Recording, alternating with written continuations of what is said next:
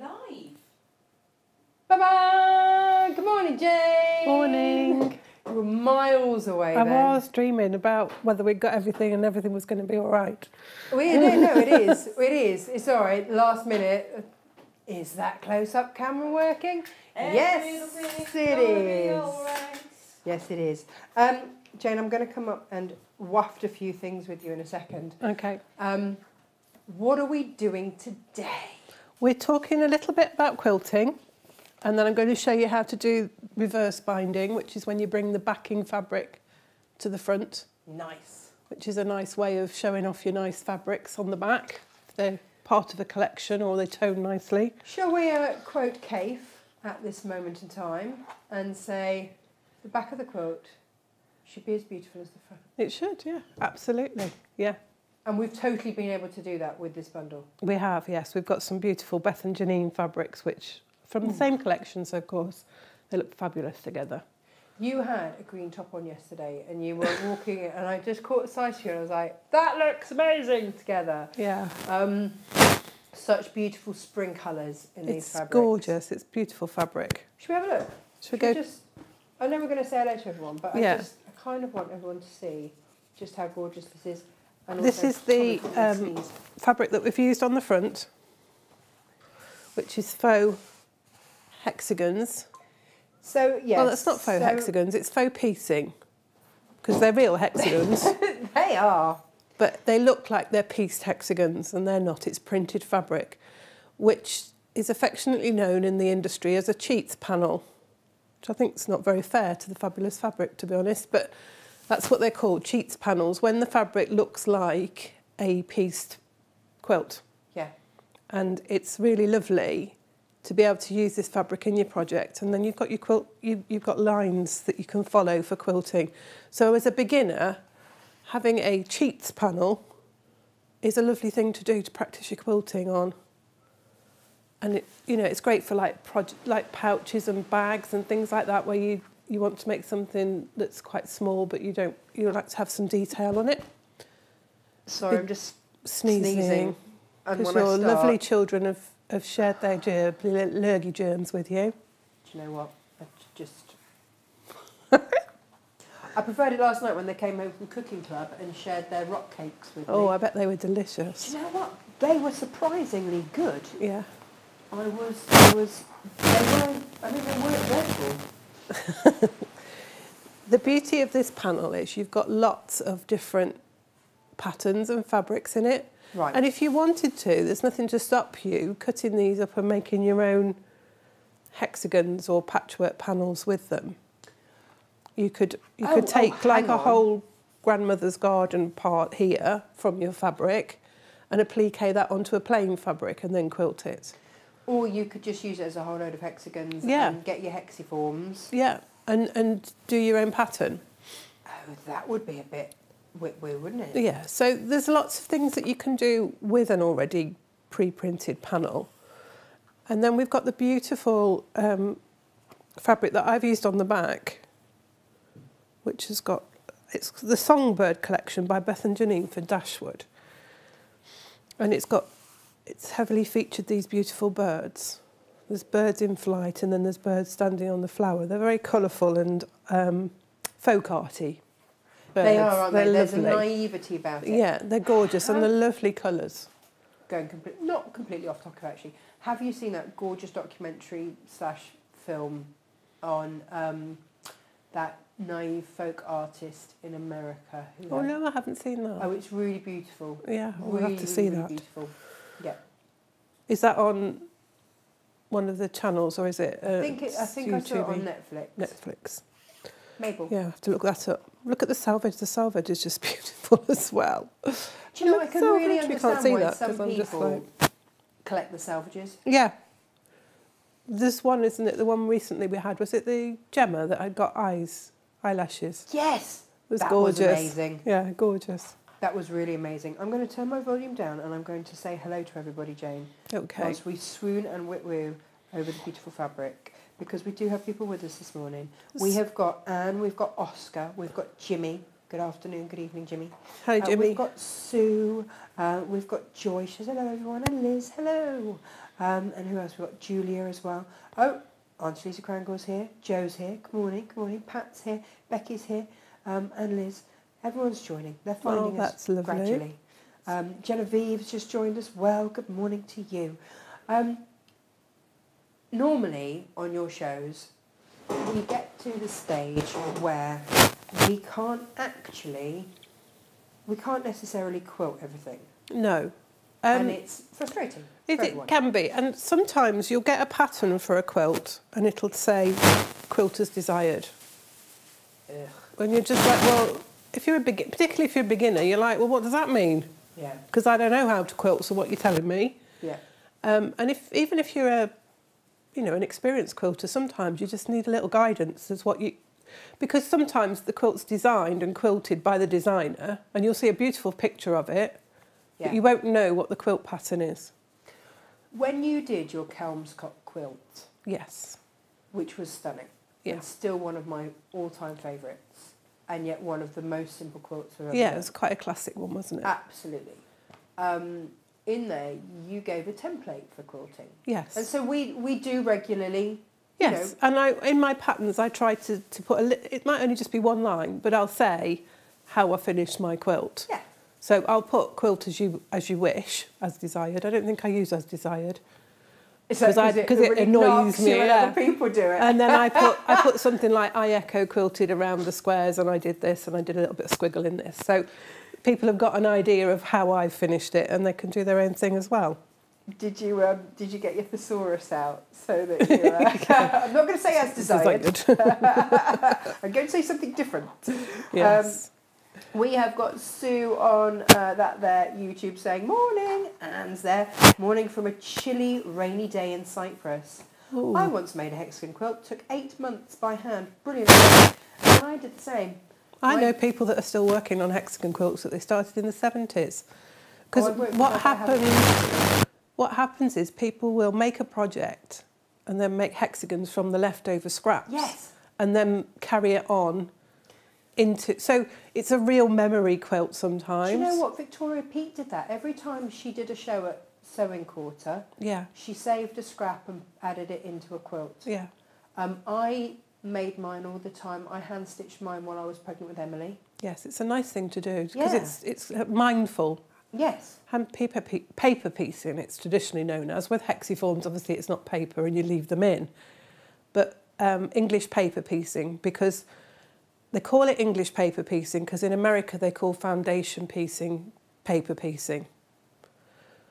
So they know that it's English paper piecing. My microphone slipped in. I could see Natasha frowning at me.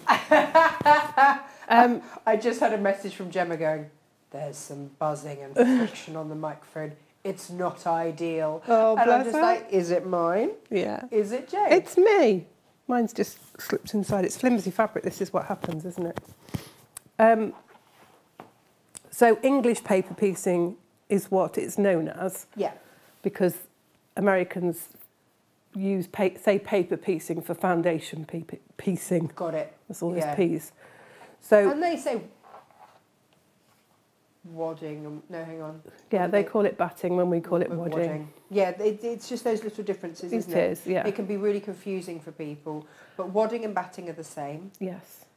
Paper piecing in America is foundation piecing. Yeah. And we have English paper piecing where we put the paper in, unless you're using hexiforms, in which case you leave it in, in, which is lovely because it wads it at the same time. which is perfect. Karen says, Good morning, ladies. Looking forward to watching live in the midst of packing away some of my stash as getting new units in my her work and sewing space. So sitting in chaos. I mean, Yeah, it's a bit like you have to make a mess, don't you, to tidy up? And it sometimes it's you get to the really messy bit, and you're like, why did I start this? I think that's where we are, Jane. I think we I are. think that's where we are. We've got all the boxes in now from our warehouse move, which seems to have been the longest move known to man. Yeah, But we keep doing shows and making other mess in between. yeah. It's it's an ongoing progress, really. We'll get there. We'll get there. Um, Yes. Hopefully now that staticky stuff has stopped. Um, right. So, So- we have got today. What have we got today? We've put a kit together for you, so it will make the same size quilt as I've made behind here, which is about 36 by 36. Um, so you've got a metre of each of the fabrics, and you've got now it's a fat half of wadding, which is a metre piece because the wadding is. I, ju- I just like doing this to confuse Gemma. I think it's You know it blows a metre, her mind. motor- it's a metre width of the wadding off the roll, but then I cut it along the fold, so you get like an. It's almost a metre square piece of wadding. It's a good. It's a good whack piece of wadding. Is that a technical term? Yeah. I've given you a good whack piece, Piece of, of wadding. wadding. that will do the project. Okay. So it's it's a square piece, more. Well, it's not exactly square, but more or less square. Come here. I'm going to sort your mic. I'm going to do you a little a little trick that we use. To stop it folding back on itself. Yeah, you put a little bit of card behind your flimsy top, Aha, that's a good plan. and you also put the mic on right there. Well, that helps Okay. too. Yay! Thank you. We're all good. So you've got two metres of fabric and a metre piece of wadding, metre square-ish of wadding. So you don't need any extra to bind it because we're No. going to show that technique in a minute. Um, so that's the whole quilt, Yes, the whole thing in. You don't that need to buy it. anything yeah. else. You'll need your thread and your machine, obviously, but everything is there to do your quilt with. As I, the same size as I've done behind, which is a nice, good, isn't it? which is a nice lap quilt, or you know, swing over the back of your sofa to bring round your shoulders in the evening. Again, baby quilt, you know, nice little quilt for them to lie on and play on.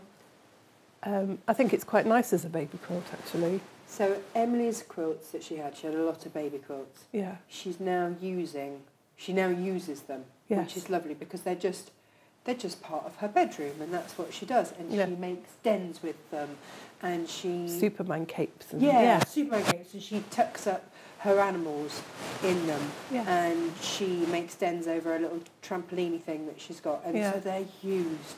And I think I've told you the story about Isaac and his quilt. When he when he was about two and he went into his big bed, yes, my mum made him a beautiful quilt. It was a pre- pre-printed panel with a lovely rainbow border. It was Noah and his ark, yeah, and a pre-printed and a rainbow border around the edge. Beautiful quilt, and he took that quilt with him everywhere. And when he got to 18, I made him a slightly more modern jazzy quilt and I, for his 18th. And I said, well, you can take that to uni with you then. And he was like, well, I think I won't take my Noah's Ark quilt with me.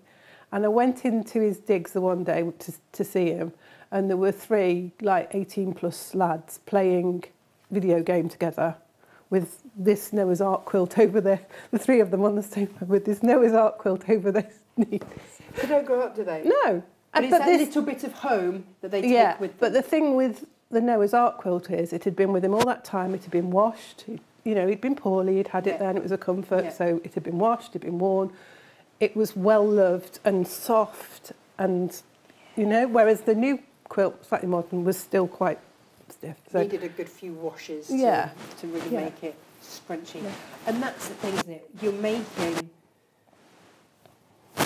heirloom pieces. I know sometimes, especially with children's fabric, it's it's really tempting, especially if you've got more than one grandchild to make for, yes, to just buy cheap fabric Yeah. and go, well, they won't notice the difference. no, But actually, if you want it to last, yeah.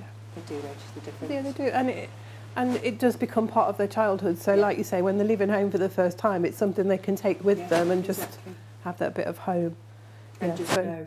Um, we've we're limited on these. How many could we make of these in the end? I think there was nine. We're really limited on these. Yeah. We? Really limited. Okay. So This is what happens when we get we get a bolt of fabric, you see, and it, they tend to come in ten metre pieces, don't they? So, they do. and They then I nick a piece to do the sample You with. did? Yes. Uh, actually, if Gemma's listening, we could we could load that in case anybody wants to. Buy it. Yeah, of course. As is. Oh, my bag's got a bit crushed. Um, right now, if we are saying that backs should be as beautiful as the fronts, yes. should we have a look at some backing? Yeah. We went through our backing Well, this we've- morning. We've got that fabulous one. Did you not make some trousers I that? did. I did. Because I it's just did. fabulous. I made. I made wide. Well, actually, it was Jules Farren's pajama bottom pattern Yeah. that I adapted to be wide leg culotte. Pink ones. Yes. and I interviewed Kaffe at Festival of Quilts wearing basically pyjamas and a six-inch heel. Because he's six foot tall, It's Yeah. fabulous, and we sat down anyway, thank God. Um, so yeah, I did. These are our super wides. They are super scrummy. I mean, Yeah, so what you see there, you'll get four times that because it's folded onto our standard width bolt, but it's folded over four times. amazing. Gemma's just said I can't hear. What can't you hear? There's so much rustling at times I can't hear you. I. Is it me? I'm not sure. It's really rustling, it's so loud at times I can't hear you. Perhaps straighten out the flex. So Jane, straighten out your flex. I know it's a pain. Well, I don't mind having it hanging, it's just, there we go. I'll just leave it loose. I'll go and have another listen. I haven't got my aerials. Straighten mine up. The aerial's not. Sometimes you get your aerials bent over, don't you? And it I think affects we the. need to get some new leads for these, don't we? Possibly. They've been well loved. When I go to Create and Craft, there's always don't put your mic packs in da, da, da, da, da, da, da, all the places I put my mic packs. Yeah. So it's obviously a thing. Yes. I reckon it's probably this one. I'll take it out when I go and sit down. Um, in fact, shall I do that and shall I leave you to flash these? Yes, I can flash these around. If, it's me, if it's not me, It might be me. by process of elimination, Jane. The thing about the Kaffe backing fabric, it's like a sateen. It is cotton. It's a cotton sateen. It it's is. beautiful because it's got a sheen to it, and you can just see that look on the camera now. It's, be- I mean, sometimes you think, well, that's too good to leave on the back of your quilt, but you know, if you make a quilt with a fabulous backing, you've got two quilts in effect because you can reverse them. And also, you can you can pull one back, can't you? Yes. Do you? Okay, so then this is the question, then, Jane. Do you do your fabric, your backing fabric, round the right way, or do you do it so that when it's folded over? Oh, there's a conundrum, isn't it? Oh, which do you do? Well, I tend to just use mine as backing fabric. And I do a lot of my quilts for show, so they tend to be very plain on the back, like cali- Yeah. even calico. But there's nothing wrong with that. That's perfectly fine if, you you're know not that your going. quilt is going to go up on a wall. Yeah, or even if you know that it's going to be on the back of your sofa, and the only time you're going to have it is when it's on your knee, and you'll still have the calico against your legs. Yeah. It's it's not a problem.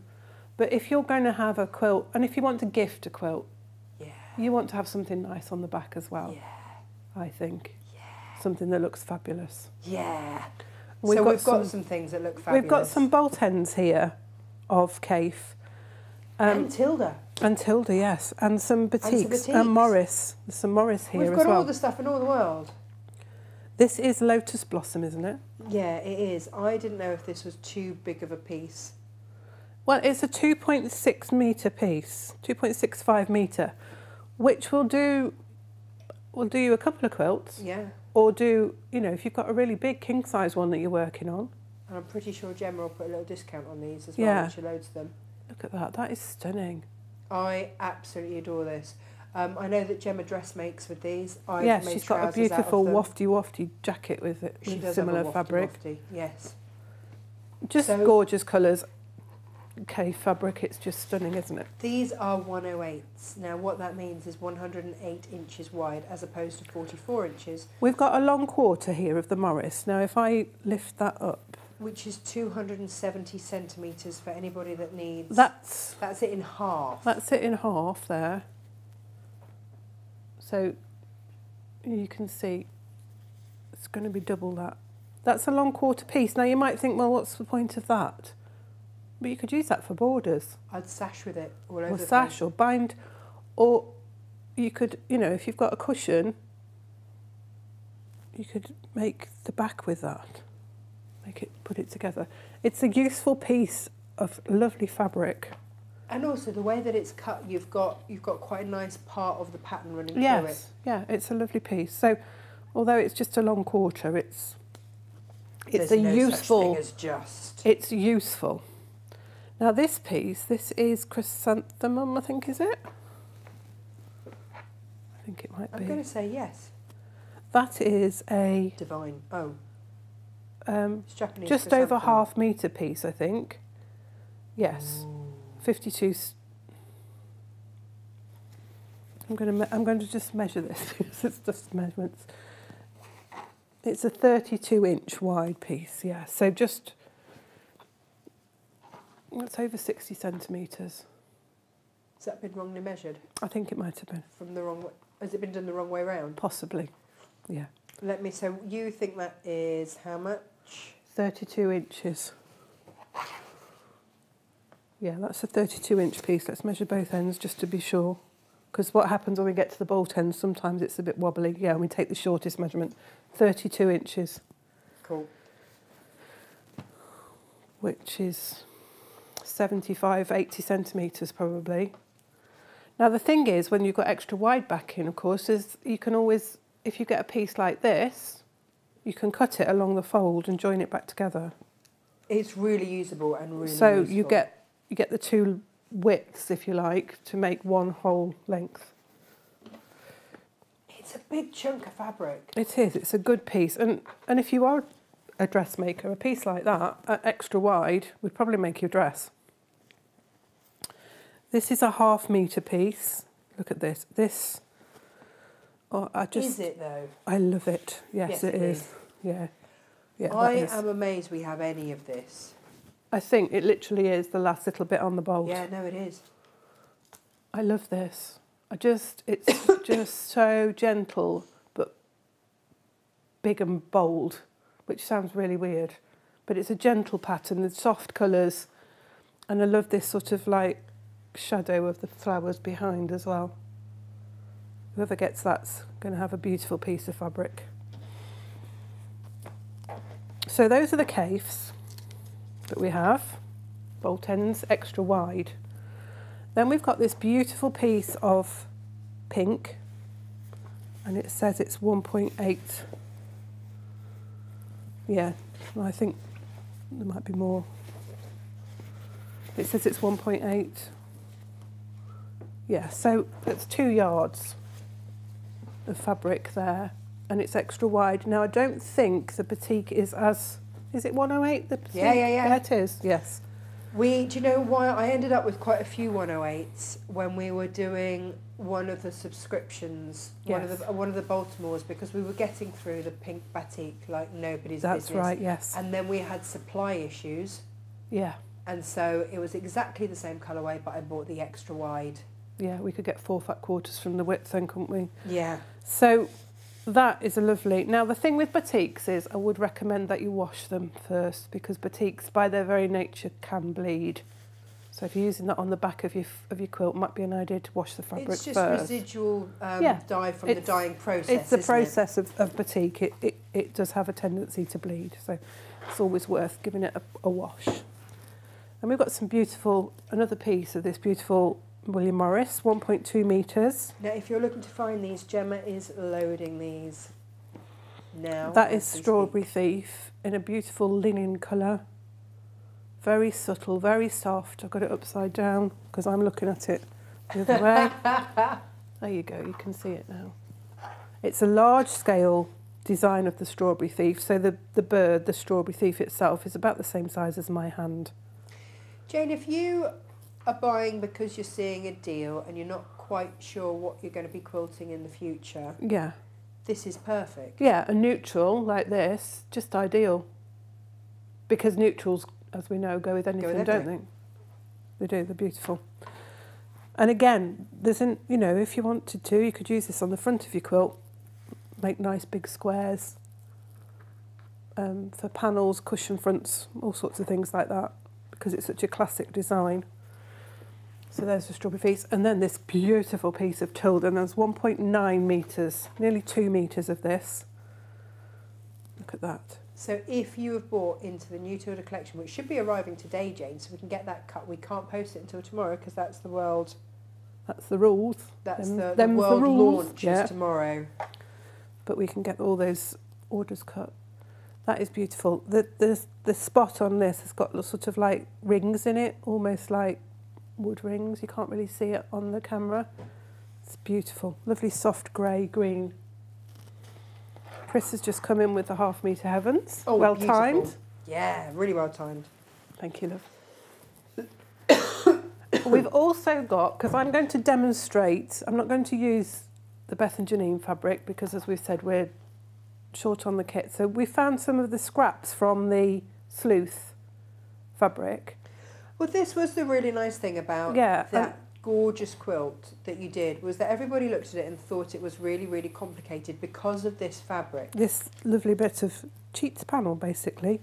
Um, this curved piecing. And we found two bolt end pieces of this. Nice. which we've put up because some people might like to have a little play with this and make a table runner or a cushion front or a bag. Um, so yeah, I'm going to demonstrate with a piece of this today. So we've got this piece which is 25, 24 centimetres, 60 inches that is. Um, that is the, I can't remember which one it is. I know this one's the warm.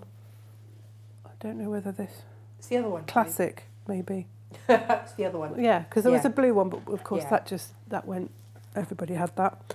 But this one, this warm one, I love this because I love the way that the oranges and the mustards go into purple. Look at that. It's so cleverly done. It's beautiful. Do you know? Giucy Giuce is is up there now as as as one I'm watching. Yeah. I do love his his style because he mixes in what I would class as traditional, maybe even vintage, you know, like the Kansas Troubles, the really old pioneer style Yes. patterns of fabric, but mixes them in with modern design, which is just fabulous. And Hey. this is what's lovely about this. Each of these um, shapes here is fabrics from within the collection. So it mirrors, it's almost like you have pieced from the collection. Jane, did you know? And I didn't know because I don't really. I'm not involved in any kind of gossip or anything like that. But I'm going to share this now. Did you know that Giucy Giuce and um, Alison Glass are besties? It doesn't surprise me, they have a similar design style, don't they? They like Right. bold and bright and classic. So here's the thing. I have just ordered. Hang on, hang on, hang on. Got your oh, sorry, come up. I can't skip something. I'll just chat to you while I sort it out over here. Yeah. Um, there we Oh, go. There you forward are. Um, I dared to look at Facebook. Um, I have just ordered, so this will come in much later on in the year, a collaboration Ooh, fabulous. between Alison Glass and Giucy Giuce, and they look phenomenal together. Yeah, I can believe it because they've got a very similar design style. They love the, the bright, co- they love colour, don't they? Both Yes. of them, which just is lovely. I don't know why I've overlooked Giucy Giuce in the past. I feel bad. I feel like I should go and apologise or something. Tell them I'm sorry. Yes. and we'll try harder in the future. And um, I had to beat people off with a stick when I took that quilt you made, the sleuth quilt, Yes. into Create and Craft. Yeah, I I, could have sold it it. 10, 20 times over. Yeah. To presenters and people that have never really, you know, they've, they've kind of like got fabric, but they've never been excited about it. They Yeah. saw that quilt and were like, oh, it's just amazing. Yeah. And So it, it was could be- straightforward. Such a straightforward pattern. So with those cheetah panels, you might be doing. I had a request to do a man bag. You might do a quilted man bag. yeah. You might do a tablet, a quilted tablet cover, Yeah.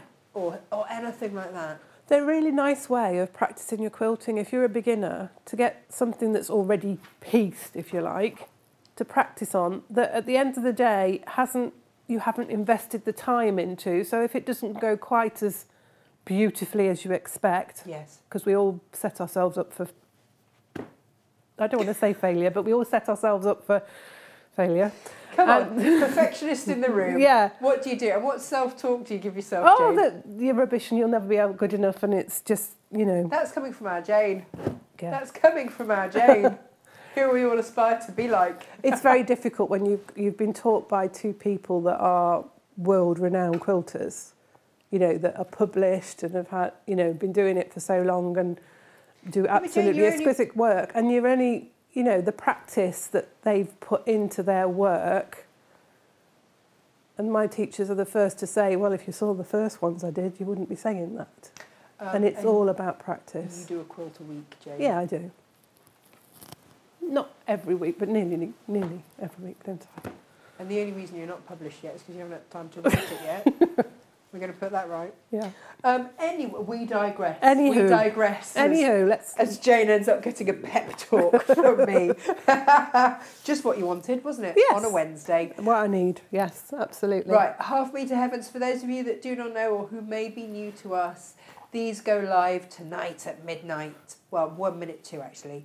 Um, this is the last of the pandas. I love this panda. I love the pandas. It's a linen weight fabric as well, so it's slightly heavier So we've put it with natural seeded cotton, which matches the panda body. because it, it is like it's a linen. So the seeded just picks up this linen effect. There is a little bit of seed in the in the seeded, natural seeded. So there's little specks in it, which I love. So don't think the fabric's faulty. It's got a speck in it.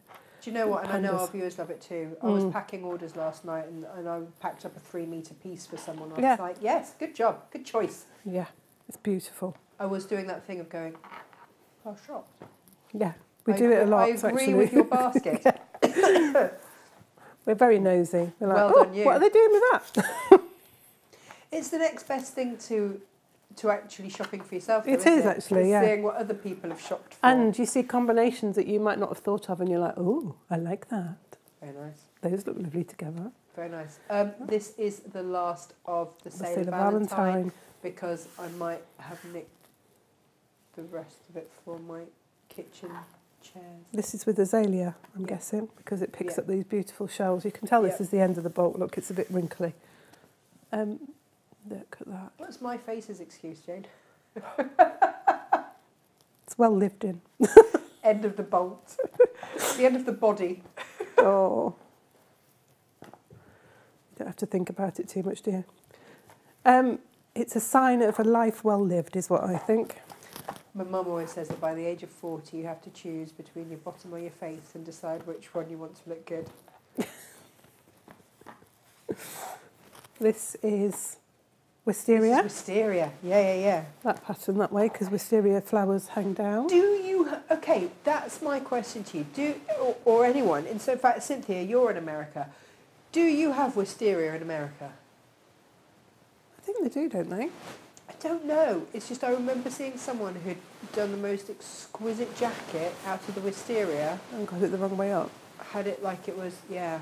Oh, right, maybe And they I don't then. thought, I it one of wonder our, a classic English flower? because our house is covered in wisteria, It's beautiful. It smells divine when it comes out. it does, it wrecks all the front of the house and the windows. But apart from that, Yeah, it comes in. I had Yeah. a, I used to have a lady that came to classes at the shop and she had wisteria in her house and she she came in the one day and I said, Are you all right? She said, Yes, I've just been battling the wisteria that's invading my bedroom. I was like, Oh, okay. but it does. And it does, and it grows really, really fast. yeah, it does. But She said one minute you can just see a little tendrils like sneaking through and the next minute it's in. it is a bit like Little Shop of Horrors, Yeah. But the most beautiful thing is, though, is in the mornings when you hear all the birds that are nesting in it Yeah. on the dawn chorus. That's great. My lesser favourite thing is looking at the mouse nest that's just outside the kid's bedroom Oh, yeah. window, and there's a little mouse nest in the wisteria. Oh, how cute. But yes. But I'm not a mouse fan. No, well, we know you don't like mice. Perhaps having one in your hair, it's partly surprising, really. I'd really like to get over that one day, but I no. Um, now Now then, we're going to be very limited on this, Jane. Yeah. Jane, Jane, Jane. the strip quilt that we did, we've got some bits left over. Look at Oh, that. Look at it. Um, this is the lace. Is it Alison Glass? Yeah, it's Alison Glass. I reckon there's only going to be about two of those. Yeah, there won't be many. And we've put that with lavender, just to pick out this beautiful piece of purple that's hidden away within know the the- pattern. Ten minute pouches I Oh, made the other yeah. week. They'd look Wouldn't they look a bit with that? Yes, absolutely. Yeah, because you you could make several and they'd all look slightly different because Yes. of the ombre of the colours of the Yes. fabric. And we what was the quilt that you did out of a half me a Half Moon Heaven. Gosh, what was it called? It was like lots of Oh, the vice versa. vice versa quilt. Yes. They'd look lovely, wouldn't they? They'd look rather stunning too. This is the hydrangea version of the lace Nice. with our magenta, because that just picks out this colour here, which is rather stunning. Then I'm, we've I'm got not a going to lie. Jane sort of shouted at me across the warehouse. magenta. okay then, Jane. You appear to feel quite strongly on this. that one, yeah, it's got to be magenta with that one.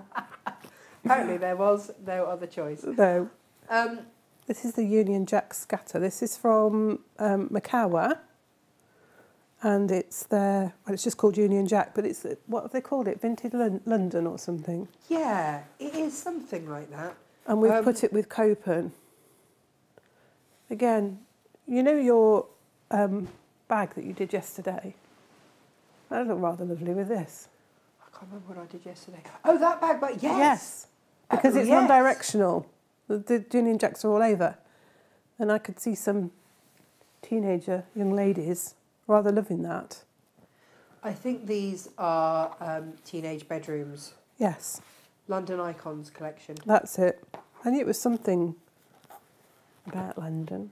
We've got taxi cabs and red buses, double deckers, and Union flags on this one. We get um, a lot of people buy this and make for family abroad. Yes. Yeah, people that are missing a bit of black taxi cab and red when London I got married, double decker buses. that was how I got to the church. Mm, Was in a London cab. yeah. And you can hire um, London red double decker buses now to take. I They had a, the whole wedding there. yeah, the yeah. whole wedding guest to the venue. Yeah. Which is rather good fun. I had a friend that did that and she said it was lovely. It was a real, it sort of that transition from the church to the venue, it really helped keep the party vibe going with Well, everybody. also, People get 'Cause they- lost. Yes, that's true. And they they served fizz on it as well. So Sounds it sort of, of you know, kept the party going, which is lovely. I'm not going to lie, they do kids' party buses, but they don't sound nearly much fun.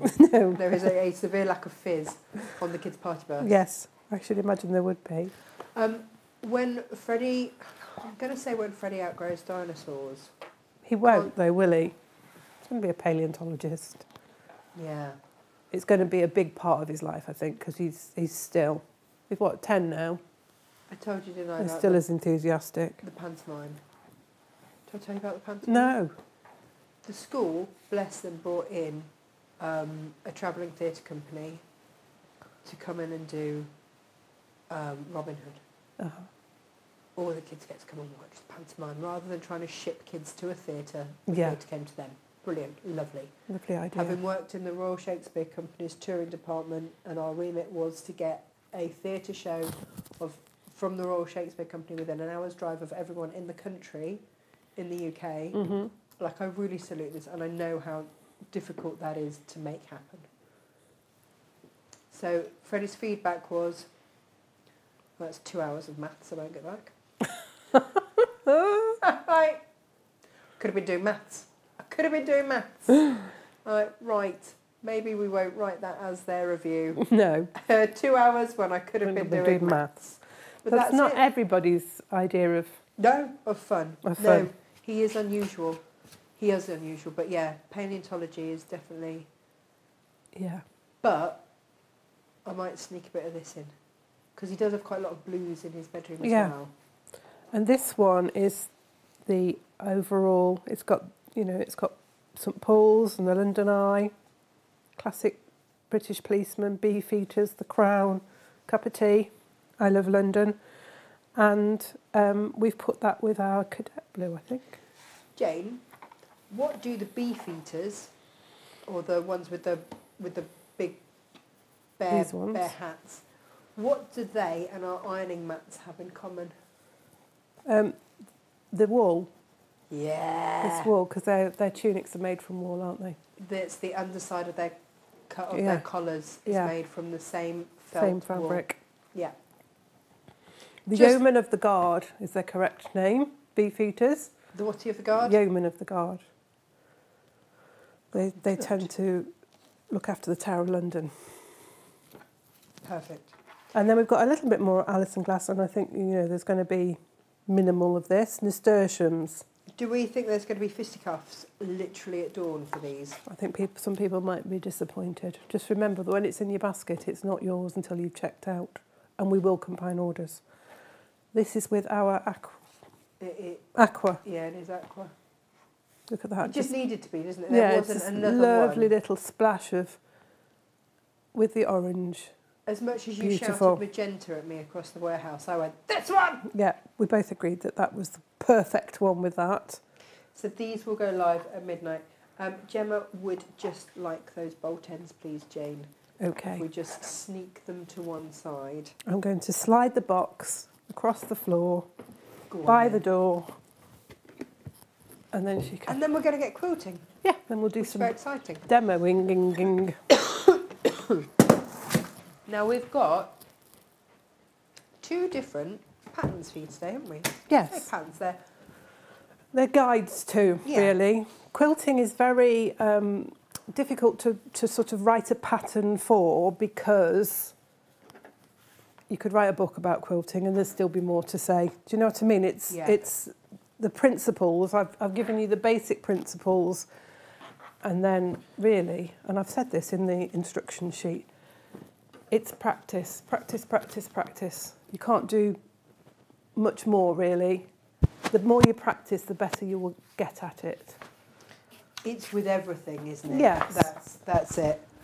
And you know, you you won't realise how good you've got. So when you do your first one, keep it. Don't think, oh God, that's really rubbish, and throw it into the recycling or whatever. Put it in the dog bed.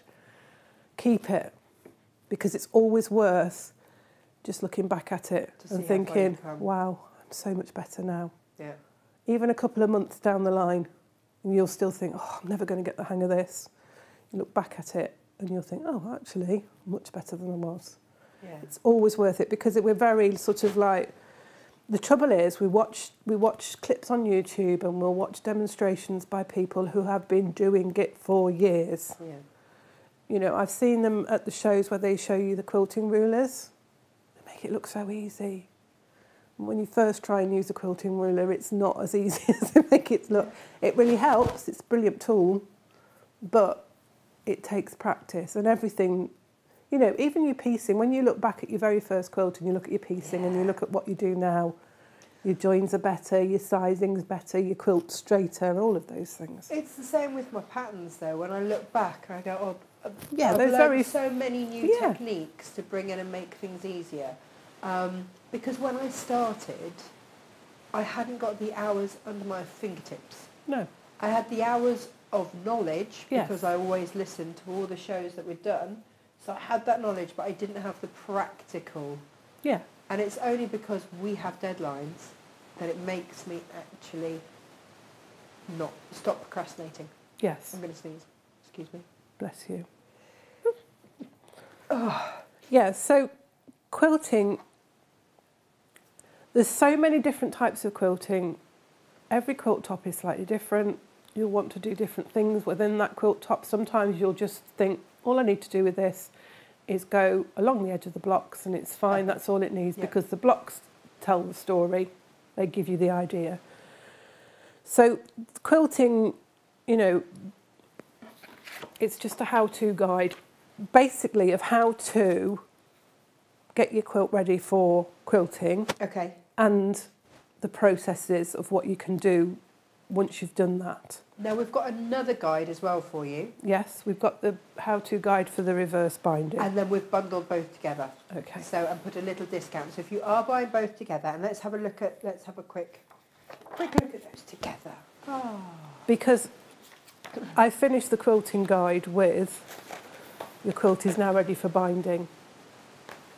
So that's the reverse binding. I do think we've got another binding guide. I'm not sure. We've the, got the, various binding the guides. ordinary, the one that I use all the time, where I cut strips of fabric and then use a colour that highlights the fabric. So This is and this is what we're trying to bring you. Uh, all these different guides, so that you can you can build them up, put them in your folder. yeah, I still got a, a book that I refer back to quite often when there's something that I'm trying to work out and I can't quite remember. there's always that one book that your is your go-to, Yeah. and I'd like these to be your go-to for me. Yay! well, the thing is, is that I know you, you take so long about these and you're very diligent about them. And we always make sure that we have lots of photos, which in a lot of books they don't have. No, they don't. They're not able to, and, and sometimes they're restricted, aren't they, Yeah. by by that. And, that, and that's absolutely fine, but that's where something like this Yeah. really steps in. And also because we've got the videos as well, so people can buy the instruction, but they can also look back at the video. So if they're like, well, quite, what did, what does that quite mean? Yeah. You can always go back to the video and just look at me doing it, which is always nice to have as well. I remember having a conversation with the MD of the printer company. We have our own printer here, we print on demand. Yeah, And he said to me, if we had known what coverage per sheet you were going to use in colour, we wouldn't have done the plan we've done for you. He's like, you, you cost us money the way that you just... And I'm like, but that's what we need. Yeah. We need, and we will never, and I said, and I won't apologise for it, and I will not skimp on the photos that we bring everyone. no, I think it's because important. it's really important. it's- That's our learning. that's how we're able to to give you the help that to do the things that you need and both Natasha and I try and work our patterns from a beginner's point of view because it might be the very first pattern that you've ever picked up Might be. You know and if we make an assumption that you know a technique that's not very fair is it if you pick the pattern up and then you're like well what does that mean Hey, what's the saying? Assumption it makes an ass out of you and me That's it. I always say it the wrong way round, and then and it loses the whole fact Yeah. that it spells assumption. Assumption, yeah. Um, which, yeah. Now, obviously, for space reasons, I can't show you how to lay out a full quilt, but the technique that I'm going to show you now will work for a big quilt. You're limited by your space. I quite often do mine on the floor, push everything back and do it on the floor. I do have laminate floor, however. I am also very lucky to have in my mum's house, she has a dining room which has an ex boardroom table in it. So it's massive and it has a glass top on it. So although it's a beautiful French polished underneath, the glass top protects it. Uh. So I can use, I can pin quilts out on that as well. There are um, tutorials out there about using pool noodles for rolling the quilts and Oh, then yeah. unrolling them as you go. That's quite a handy one to, to do as well if you're lacking in space. I think maybe we need to Mm. need to try a bit of that. So your backing fabric. You're going to have your backing fabric. You want, if you're quilting it on your domestic machine, it needs to be at least four inches bigger than your actual quilt. Now you might feel that's a bit of a waste, and you can skimp on it once you've got your techniques and you understand how it works and you know your machine. You can make it a little bit smaller, but you're setting yourself up for failure if you try and make your quilt top and your quilt back exactly the same size Oh no. because what happens is with the quilting process it pulls everything in Yes. and so your backing fabric will pull in and you'll end up with it all wrinkled up at the sides Um, a little message to Suzanne who says she can't see the Tilda and the Kaffe backing on the website. It's being loaded as we speak. Gemma, keep refreshing your page on the website. yeah and it will it's being loaded. Gemma's just taken them away to take photos so she can load those. Viv says her hubby is a black cab driver. oh we've got a couple of black cab drivers in Stafford actually to be fair drive you know from the station Yeah, yeah, yeah. so they're they're not exclusively London are they Jane, I think there's going to be fisticuffs. Your mum's also looking for all the backings on Yeah. today's show. She can't find them either. They are being loaded, guys. It's going to be fastest fingers first. it is yeah Yeah. Yeah. yeah. Um, so your backing fabric. If it's not wide enough, you can join. If you've got standard width, if you haven't been able to get hold of any extra wide and you've just got standard width fabric, you can join it. If you join it, try and make your seam not so it, it doesn't fall in the middle of your quilt, either middle, horizontally, or uh, horizontally or vertically. is that because of folding? Yeah, just because when we fold things, we tend to fold them in half Yeah. before we then fold them up any further. You haven't what seen you- my folding, and what happens is I don't tend to fold mine. I tend to just screw mine up because then it doesn't it Doesn't matter. crease up or anything like that. Because what can happen is you're constantly folding it. You you can end up with a permanent crease fold in your quilt, which is why people who have quilts will quite often take them out and drape them or hang them on the line, let them relax, and then refold them, but fold them a different way. This is brilliant advice. Yeah, because knew there are so people technical. in America that just have like cabinets full of quilts. So does Kaffe. Yeah. You know, um, wait, there's one of the photos is of on one of my profiles is of I think it's my Natasha McCarty Yeah. one is me stood in front of his cabinets, and when you open them up, they are full of Kaffe's quilts. Yeah. absolutely stunning. And he's painted, hand painted all the fronts of them. Oh wow. Lovely. Yeah, most of us just have them from IKEA. Yeah. not Kaffe. Oh no. So your backing fabric, quilt it. Sometimes what you can do, if you've got two pieces, you could cut one of the pieces in half and put your seams either side. So you could put Yes. one half there and one half there. Okay. Um, pressure seams open as well because when you're quilting, you don't want that ridge that you've got to bump over with your quilting foot because okay. it can sometimes knock your stitching, what your line wobbly. So press them open. So again, that's another reason why not to have them on a fold line because obviously when you've got your seams pressed open, it exposes the stitches. Okay. So it's just a bit of help. I mean, we're talking you know, when you're probably long gone before that starts to happen, but it's one thing to sort of be aware of. So once you've got your quilt top, you've pressed it, it's all nice and flat. You're going to lay it down on your flat surface, and you're going to take. I take. I use ordinary masking tape. It's not very tacky. It just works. Start pinning in the middle of a side. Don't pin in the corners because if you pin in corners, that's a biased edge and you'll stretch your fabric. So start at the top, smooth your fabric down, and then in the opposite side. And do that top and bottom and on each side. And what you're doing is you're pulling the fabric tight, but you're not stretching it because you don't want to. If you stretch it, you're going to distort it, and when you take the when you take the tape off again, it will it'll sort of shrink back in, which could lead to tucks and and um, ripples in the back of your quilt. Okay. So once you've got north, south, east, west done, you then work from that side, smoothing your quilt out and placing tape down the one side, and then you'll work work up. So just smoothing the fabric each time, not stretching it, but just making sure that it's tight and there's no wrinkles in it. And you'll work both sides, top and bottom, so that you've got it all firmly fixed to your flat surface with no wrinkles in. With a piece as small as this, we could use basting glue. Yeah. Now, when you use basting glue, just glue it, just baste the wadding.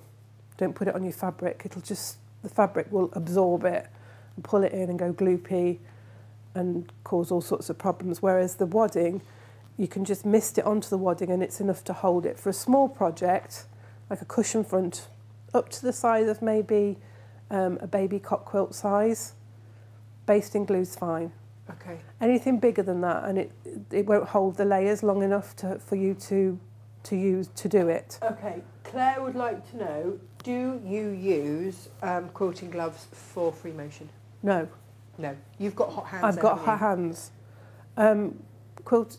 The thing is, you can find there's all sorts of things out there. There's little like finger sheath things that you can get. You were talking about these yesterday with you? your Oh, the silicone ones because I nearly burnt my Yeah. fingers, and I've got quite asbestosy hands. They're good because they're just your fingertips, Yeah. so they'll grip it. Yeah. I know people that quilt in their marigold gloves because that gives them enough grip to. Do you know? I was. I thought I'd imagined that. No. But no, it is a thing, isn't it? And you can buy the cotton quilters gloves that have got the, the sort of like, rub- you know when you get, um, Riders gloves. yeah, you know you get those slipper socks that have got that Yes. like rubberized bit. The quilters gloves have got that on the Yeah. fingertips. So, but no, I don't. I don't feel the need to. But if you find it helps you, the thing is, you'll try everything that helps you get comfortable and feel that you're making progress. Yes. So everybody's different. We, you know, we, we all we all do things slightly different, and the saying is, you know, all roads lead to Rome, don't they? So it's all ways I'll get to the, get you the end result is fine. Your wadding will be the same size as your backing, or just slightly smaller. and you just want to smooth that. Are we all right to go overhead again? Yeah, yeah, yeah. So um, apparently we are rustling again. You haven't flipped be- over. Yeah. What's the what?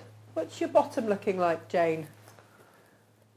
I got my my aerials out. Okay. There's no Oh, I wires. think, I think the wire's pulled down. Can you Hook it into my pocket. no from where it comes out of the out the top of the there? Yeah, Took it into my waistband. yeah. There we Let's go. try that. We'll try that. Stop rustling. Let's calm down now. There we go. So your wadding, your wadding piece will be as big as, slightly smaller than your backing. And again, you smooth it down. Now, in an ideal situation and everything, you know, you're not working on your dining table that you've got to get done before you make the tea, you would leave your wadding overnight to relax. What? Yeah.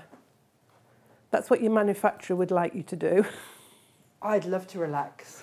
wouldn't you? It's just particularly if you're buying a pre-cut piece that's been rolled up tightly inside cellophane, and you'll you know as soon as you get it out, you almost hear it go. It's It'll like- have wrinkles and folds in it because of it being folded up. So if you can, leave it. It's like 24 getting home from work, hours. taking your bra off and putting your PJs on. Yeah, it You. Just sort of go. Ah, yeah.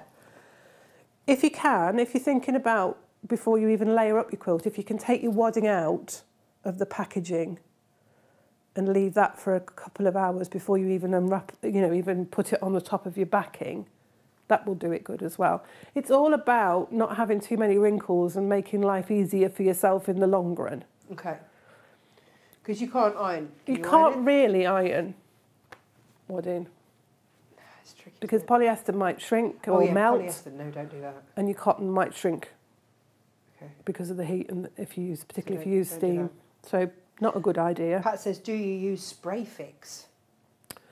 is spray fix a permanent one is that a don't know. permanent adhesive no i wouldn't um, i tend to use the 505 which is a temporary adhesive because it's repositionable so if you've got I it I find that safer. yeah if you've got, not got it quite straight you can lift it and reposition it Helen says she just wanted to thank the team for agreeing to swap out a colour on a kit that she ordered, as usual, above and beyond. we try our best helen we do We, we give it a go. So, um, and Colette said, yeah, I've got plenty of clean rider's gloves. Thanks. yeah they would work There we go. It's whatever you feel gives you enough grip with your with what you're working. Now, Julie working. says she's recently started using a slider mat and found it's a game changer. Yeah, there's all things out there, all gadgets and tools, all designed by quilters that they've found helps them. Yeah. Oh, Lo's just joined. She's late on patrol. But she's glad to know that's why her tummy gets bigger overnight because it relaxes. Yeah, we've all got one. tummies like that. And then you'll put your piece of quilting, your quilt top, down on your wadding. Actually, weirdly, that looks really nice with that wadding. It does. looks really nice. It's lovely, isn't it? Then um, joining the three layers together. Now, I like to use curved safety pins. Some people don't like curved safety pins. They they feel Gemma's not very keen on them because she tends to prick herself every time she uses one. That's any pin. Yeah. It doesn't Um, have to be curved. It's just any pin. And some people feel that they leave holes in your fabric. Do they? They can, but they're But anything that goes through Yeah. your fabric is going to leave a hole. And the thing is, if you just rub your fabric after you've taken the pin out, the hole will disappear. It's only it's the width of the pin. You know, it's it's It's not a biggie. it's what happens. It's not like it going through um, a PU No, or a faux leather where no, it's not going to be a permanent mark. mark. By the Um, time you've washed it, it's gone. you can you can tack your three layers together Okay. if you don't want to use pins, but whichever way you do it, you need to start from the middle. Now, with tacking, you wouldn't be able to do it with it still pinned to the table, floor, your you'd have whatever. to, you'd have You'd to, have to lift it up, which again gives options for the, the layers to move. Whereas this, you've still got your backing pinned down tight to your table or your floor or whatever flat surface you're using. Um, And the beauty of the curved safety pins is that when you put them in and rock them, they pop back out without you having to lift the surf, the fabrics. It's clever. It is. It's Yeah. it's obviously it's been thought about by somebody that does quilting. Amazing. Um, quilters by, quilters. quilters, yeah. so that goes through the three layers. And this is why my mum's boardroom table is fantastic because it's a glass top, so I can just go in as far as I can go and rock it up. up, and I know that I'm not going to scratch my table or anything. Don't do it on your best French polished table because you'll wreck it. Um, Josh found some of these the other day and tried to throw them away because he thought they were bent. You're like, no, no! most expensive safety pins in the whole world. Don't throw those. But they're no good. They're bent. I know. They're They're designed to be like that. Glenn's like, can I use these safety pins to put my numbers on my shirts? No, you can't. You can have ordinary household pins for those. When will they learn? It's like using your fabric scissors, isn't it? Oh yeah. So last night he was cutting some zips for me, and I had to just hide the fabric scissors. Yeah. Don't use my best scissors. No. So again, start in the middle. Work your way to top and bottom from the middle and side and side. Um, palms width apart is usually plenty enough. And if you're using your hand, you'll bring your hand down, pull in the fabric top, pop your pin in, and then you'll want to do just one on the edge, just to hold those three layers together. The beauty with pins is as you get to sewing, you can start to take them out. Yes. Now I, you can see all of these pins are open. I never close my pins. I leave them all open, which course, which causes great consternation because they all get stuck together. it's like one of those monkey puzzles, you know, when you used to get them and you bring all the tails together. Yes. But I leave mine open and then I just shake them across the tuck quilt top and then start using them. So I'm just going to quickly finish pinning this. So you'll get your north, south, east, west, just like you did with your tape on your um, uh, backing fabric with your tape. And then you'll work from the middle, from your middle pin, you work out in rows up to the corner. And again, palms width apart. So you'll, you'll just put them. Sometimes with your fabrics, you'll find that there's a piece of fabric that's just in the middle of where you need it to be. So you're not, don't try not to pin through seams because Oh, I see what you obviously when you're quilting, yeah, you're going to yeah. want to sew on those seams. So if you can get it sort of on the piece of fabric rather than it just lends itself perfectly for says that. thanks for the relaxing wadding tip. Not heard that before. Yeah. Great pointers, thank you. Do you know what? I had heard of that before? And I think it's the about it. manufacturers that, that recommend that you do that because obviously the manufacturers want you to get the best from your wadding Yeah, of course. because they want you to use their product and they want it to be the nicest. Hi, Gems. Today's instructions. Oh, Yes. today's instructions, right? Okay. You have to buy either the two digital Buy or the the two printed. Okay, you can't mix and match. So you have to buy either the two digitals or the two printed versions together to get the discount. You can't buy one digital, one printed. So either go fully digital or go fully printed. Add them both to your basket and automatically we will give you a discount because we're nice. Yeah, but if you put a printed and a digital, it won't discount it. Computer says no. It, it just blows its mind. Um, who was at the door? Oh, collection. I want stuff delivered. Well, I mean, I do want it collected, but I also want stuff Yeah. delivered. We- We're waiting for deliveries. Bake space. Bake space good. is stuff to run. Yeah. Good, yeah. Okay. So once you've got it all pinned, you can then take your um, masking tape off and your quilt is then ready for quilting.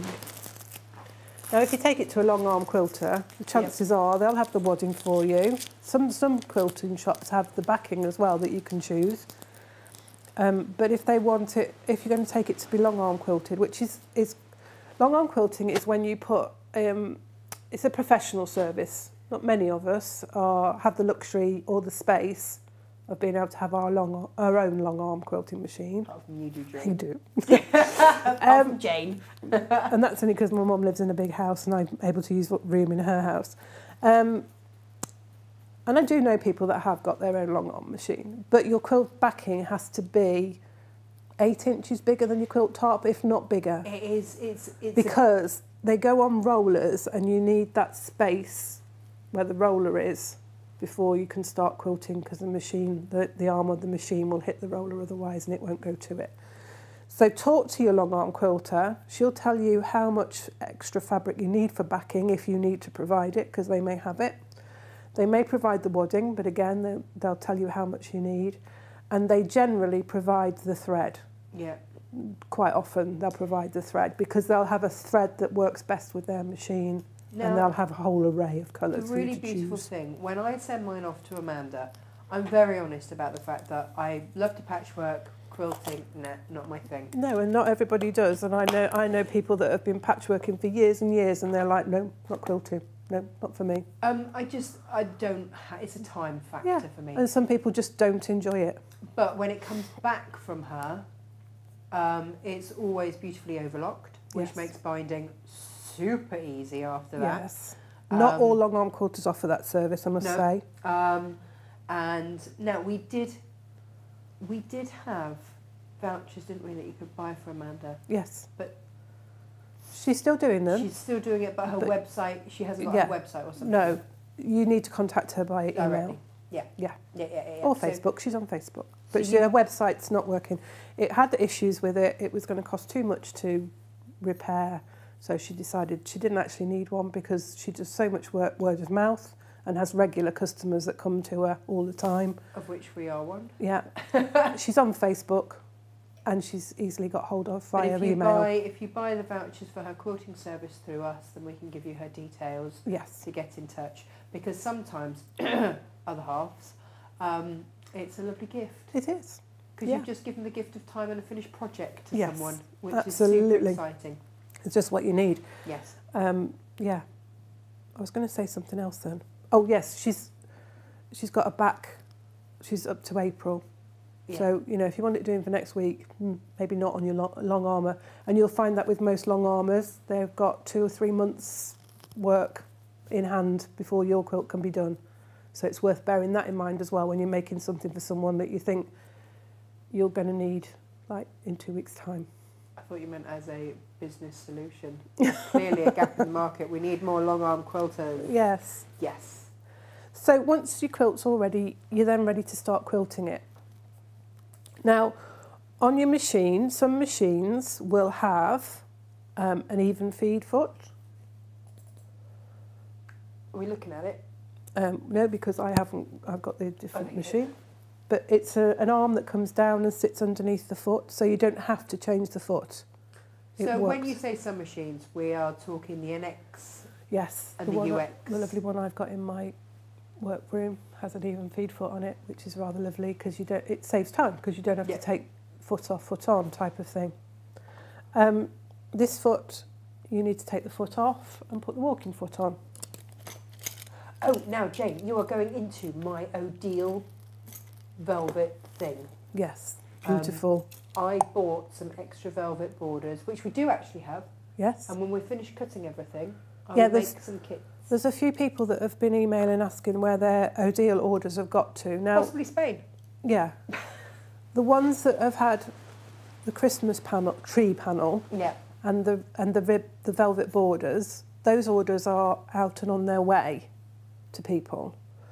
Um, but the cushion panel, if you've got a cushion panel in your order, you're still going to be waiting because they went to Spain. They did go to Spain. Um, we didn't send them to Spain. They got put on the wrong plane. Um, I've just had a message from Odile this morning saying she's chased them again and they should be being put on the plane today, which means we will either get them tomorrow or the next day. I can only apologise. Honestly, the, the you couldn't write it. You couldn't write it. This fabric It's be almost like a Monty Python sketch, isn't it? And the Really? really ridiculous thing is, is that we love buying from Odile because everything is sourced in Europe and it doesn't travel that far. No. But these blinking cushion panels have been all over Europe. They've been backpacking, I'm pretty sure, but they Yeah. are. They're yeah, on their way. We have been assured that they will be put on the correct. I mean, And as soon as they arrive, we will give them our priority. I have I've Oh, yeah. emailed people's back back and said, you know, once they cut here, that's going to be our priority. however frustrated you might feel at home, you can imagine how frustrated we feel every day we open up the customer services and go, ah, ah, Yeah. because we hate letting anybody down. No, and we it's, don't- They are, not you what we won't be let down. They will be with you. Yes. Um, just not in the time frame that we had. We could never have guessed that this would all go wrong. There's all been other things that have gone Yeah. on that so we can have only hindered it apologise. as well. But So, I think yeah. you will forgive us the minute that you touch them and Yes. go. Ooh, yes. Good things are worth waiting for. Yeah. Right, so walking feet. Can we go close up and Oh, then I'm yes, sorry. Sorry. I was just agreeing with Lo that she needs some um, Odile Velvet. She does. So your walking foot. It's um, it's called a walking foot. Sometimes it's called an even feed foot. Can you see how when you lift this arm here, it makes those that part of the foot go up and down. trying to do it so that my hands don't get in the way. There we go. Can you see that? And that literally makes the foot walk across the fabric. Now, your ordinary foot on your machine is called a presser foot because it does exactly that. It presses the fabric together, which is great when you've got two layers, but if you've got three, it will move those three layers apart. You can quilt small projects with or- your ordinary presser foot on. I don't recommend it, but you can do it. But if you try and do a big quilt, you'll end up with your quilt top coming right up to the edge of your wadding by the time you get to the bottom of it because it'll have moved. Um, it's not the easiest thing, and, you, and you, again, you'll get tucks and ripples in your quilt that won't make you happy. So, your walking foot may look like this with um, a prong on it, or it may just be a bar that sits above. And what that sits above is the, the nut here that holds the needle in. So, this one, that prong goes either side of the needle nut and the ones that have a bar, the bar sits on top of the needle nut. Now it needs to do that because as the, the needle goes in and out of the fabric, that is what makes the arm go up and down, which makes your walking foot walk. Now, Jane, it is fair to say that these are consumables. What I mean by that is that you will have to at some point replace Yeah, your they wear out. It's not going to last forever and ever and ever, which I get really cross about. Yeah, But it's just a fact of life. Like, I can never imagine I'm ever going to need to replace that presser foot. no, you probably... I need to clean it, Yes, but I don't need to replace it. no, you you won't. But your walking foot, because of the mechanism in it, what will happen is it wears out, and this part or this part will come away, and you just you have to buy a new one. It's what happens. I'm afraid it's what it is. But don't. But if that's Don't think it's- you, don't don't, think think, it's- done something. No, it's it's a part that wears out on your machine. Now, refer to your manual as to how and what sort of foot you would need. Sometimes you'll get a, a quilting um, bundle, so you'll get your buying machine and it comes with a walking foot, an embroidery foot, quarter inch foot, and all sorts of things like that, which is rather good to have. Sometimes you can buy universal ones for your machine. Sometimes your machine won't like that, and you have to have the, the foot that suit that goes with the machine. It'll all be in your manual. Um, what the manufacturer will tell you is that a universal foot will void your warranty. And that's all I'm going to say on that. But I Um, think they have to say that. they do. So just taking that foot and I'm just putting the screw back in and I'm going to screw that back up so that it's nice and tight. Some of them have clips that you can just unclip it and clip it back in. Some you have to take the, the, the presser foot completely off and unscrew it and put the screw back in. They're all slightly different and as I say, just refer to your manual. Just make sure it's on there nice and firm, no, no movement within the foot and put your presser foot somewhere safe where you know it is. If you've got a pouch like Natasha has that you keep everything in, Yep. put it back in the pouch Yep, because you can guarantee you'll lost it by the time you finish quilting, yep. Really annoying. and it's very upsetting. Yep. So for quilting, you'll need to lengthen your stitch, and again, wh- even with your walking foot, I'd say practice. So get a just a couple of pieces of fabric. If you've got some of the fabric that you've used in your quilt, all the better because then it's going to react the same way. Otherwise, just make a calico sandwich with two pieces of calico and a bit of wadding and just have a practice. Just to find your stitch length, just to have a practice in a little gentle curve because your walking foot you can do gentle curves with. Nice. You can't do your wiggly squiggly meander, Okay. but you can do a gentle curve. Okay. So, and you can get some really lovely effects just with your walking foot. Okay. But that's a whole excited to see that's a whole new show. Now, talking of a whole new show in terms of that, Jane, do you want to tell everyone what we're working on? We're going to be working on a sort of a quilting based subscription, are we? Sort of patchwork and quilting based subscription with me. With you. With me. We need name suggestions for this. Quilt with Jane. Basically, what we want to create is. Let's see your face, Jane. Oh, everyone have to. Um, so, with my subscription, we've got quick, easy makes and a Zoom call every month. hmm With you, there's going to be a glossary of terms for quilting, Yeah. which we'll build on, and every month a different block. Yeah, we're going to start with the very basics like cutting your fabric, how the formulas, so how to make the basic units like a square, rectangle, strips, um, sewing them together accurately, your half square triangles, your quarter square triangles, your three triangle units, building up a, a basis, and then we'll talk about how those units then go in together to make blocks. Is I'm the very plan. excited about this. Yes. I'm very excited, and maybe we call it Jane's Quilt School. I don't know, but something like something like Yeah. um, because with the best will in the world, I want to have that glossary, a video glossary that people can just refer back to, like your book, but for those people that are visual learners, Yes. you know, that, that need to refer back to, oh crikey, I've got to cut, cut squares. I need it to be a certain finished size. For Yeah. half square triangles, how much is it? Seven eighths of it? Like, I can never remember. Yeah. How much do I need to add? That's right. Yeah, so it's always handy to have that. Right, so back to the quilting. Sorry, Jane, I don't. Lengthen your stitch. I have mine on a 3.5 on my machine. Some machines, this is why I say make a quilt sandwich, have a practice, get a stitch. The thing about quilting is you want to see the stitch. It's decorative as well as functional. It's holding those three layers together to add that warmth, but it's also decorative. So you want to see it. So lengthen your stitch. By lengthening your stitch as well, it'll prevent it pulling too tightly. A very tiny stitch makes it quite tight.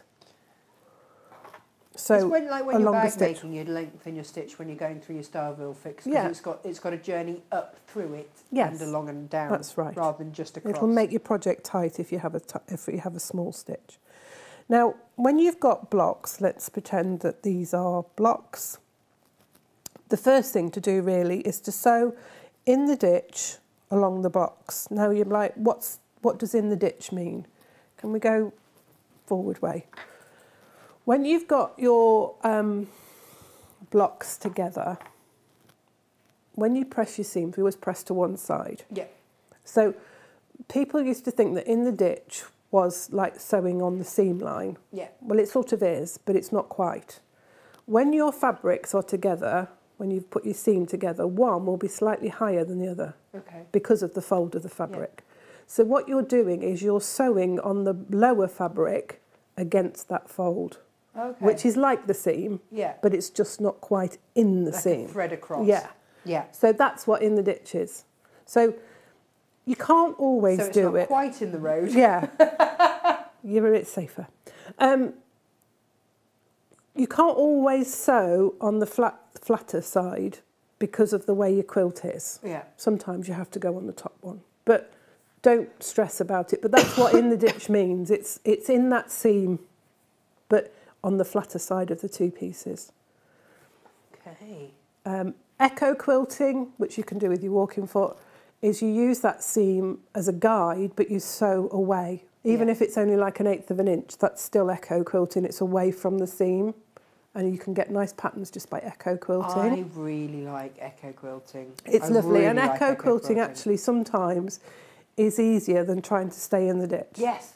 Uh, because if you come out of the ditch, You get all upset about it, and it makes you anxious, and you feel like you've ruined your quilt.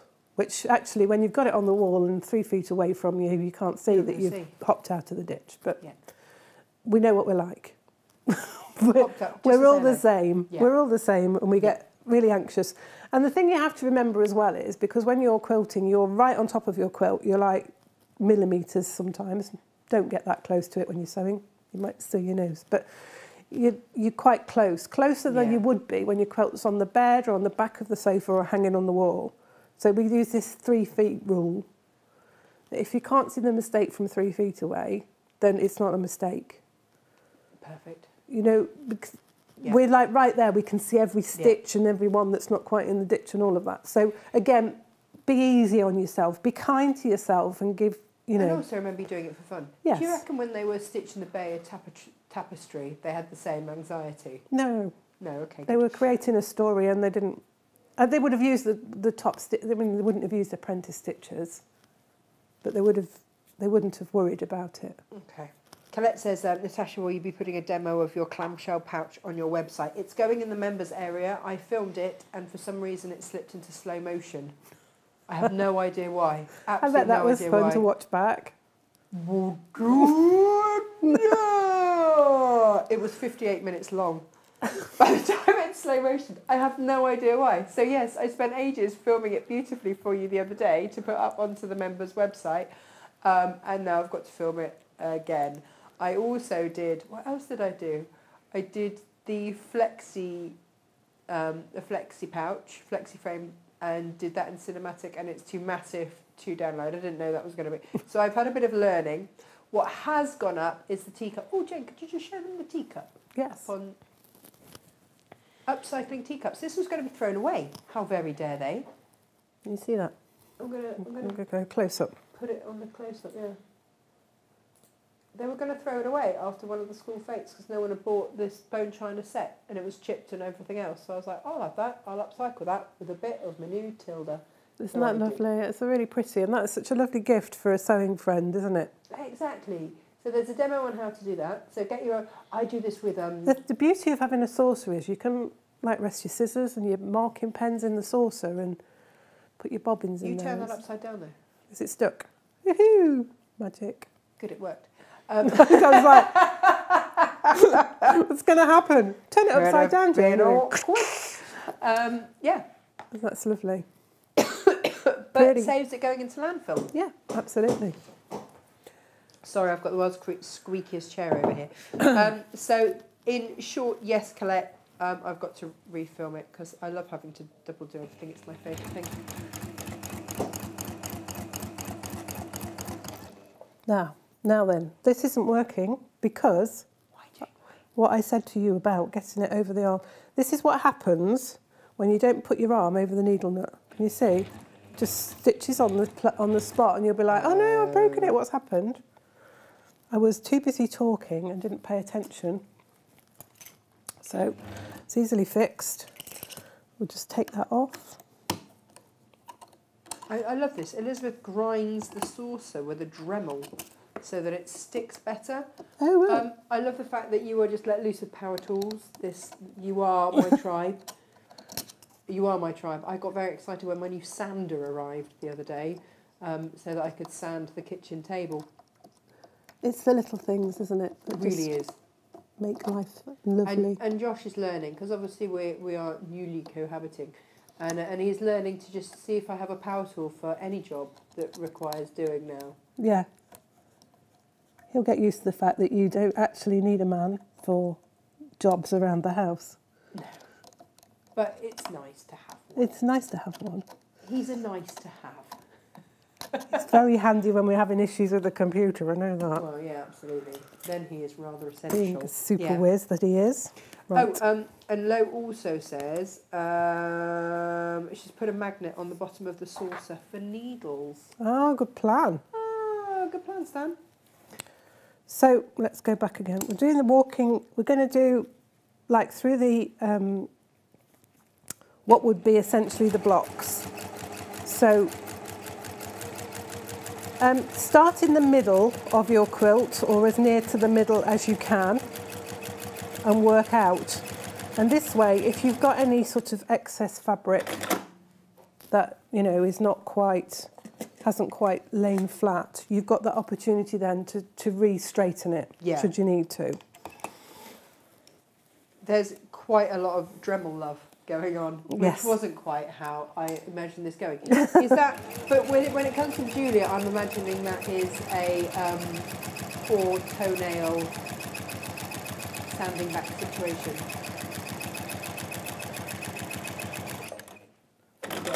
It's quite handy. So just through the blocks and then do all sort of like vertically and then go horizontally. And again, start from the middle, I Working from the the edge. way. working from one edge, but always working from the same edge. So if you start on the left hand side, always start on the left hand side. Because what happens if you go one way and then go down the other way, you're going to get a ripple in your quilt. So again, Jane, ask me how I know all about these things. yes. I made all of these mistakes with the first, with the first big quilt top that I ever tried to quilt. And this is when you get disheartened by it all and think, oh, I'm rubbish at this, I can't do and it gets worse. I did it with a really floofy polyester wadding in the middle, which took absolutely no prisoners and just shifted around all over the place. Yeah. Again, it's a bit like everything, isn't it? You use the best quality ingre- ingredients that you can afford. I was learning. I was learning. it. And, And- quite often people will, will go and get what is known as upholstery wadding, which is quite thick. Yeah, Um, it's not. Quilter's wadding is thin. yeah. But don't be deceived by the thinness of it because it's warm. My favourite wadding is the 80-20, which we have here. Bamboo or cotton? Um, either or. I tend to get cotton because it's the most readily available. Bamboo's quite a new, It's New really up thing. and coming. And the Yeah. thing I really like because it's bamboo- sustainable. yeah, it's the sustainability. Yeah. It's the fastest growing thing out there, isn't Yeah, and it and it's it's big, it's a, it's a relatively modern? Yeah. thing. And also, Just like the 80-20 is comparatively because we didn't ha- they didn't have polyester Yeah. quilt fabrics yeah, when they very first started making quilts. So. this is very true. There is, and some people will be traditional and just want wool. Yeah, and wool is fabulous. It's the most expensive wadding, but it's wool. It's a natural fibre, so it keeps you cool in the summer and keeps you warm in the winter, which is just lovely. And again, you know, it's like that thick, but you think, how can that possibly keep me warm? But it does, and it's got a weight to it as well, which just drapes beautifully on a bed. Now, our bamboo blend is a 50 50, and our cotton polyester is an 80 20. Yeah, Um, so they are all online if you would like to buy some. you will find on some manufacturers they recommend that you that you wash your wadding before you use it. Yeah, that always makes me feel a bit It's a bit- Yeah, it's a process. I've never ever washed my wadding beforehand. Um, I treat my quilts when they're done as like a wool blanket, so they go on a very cool, gentle wash. Yeah. I don't wash them very often, to be No. fair.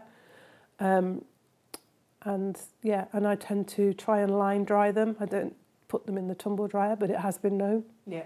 You know, I'm not precious about my quilts. I just So use them as blankets. My my um my airing my I, I have to tumble dry because Yes. it's Cornwall and it rains. You put something out on the washing line, and there's only a certain part of the day where my washing line gets any sun, Yeah. and then and then it rains.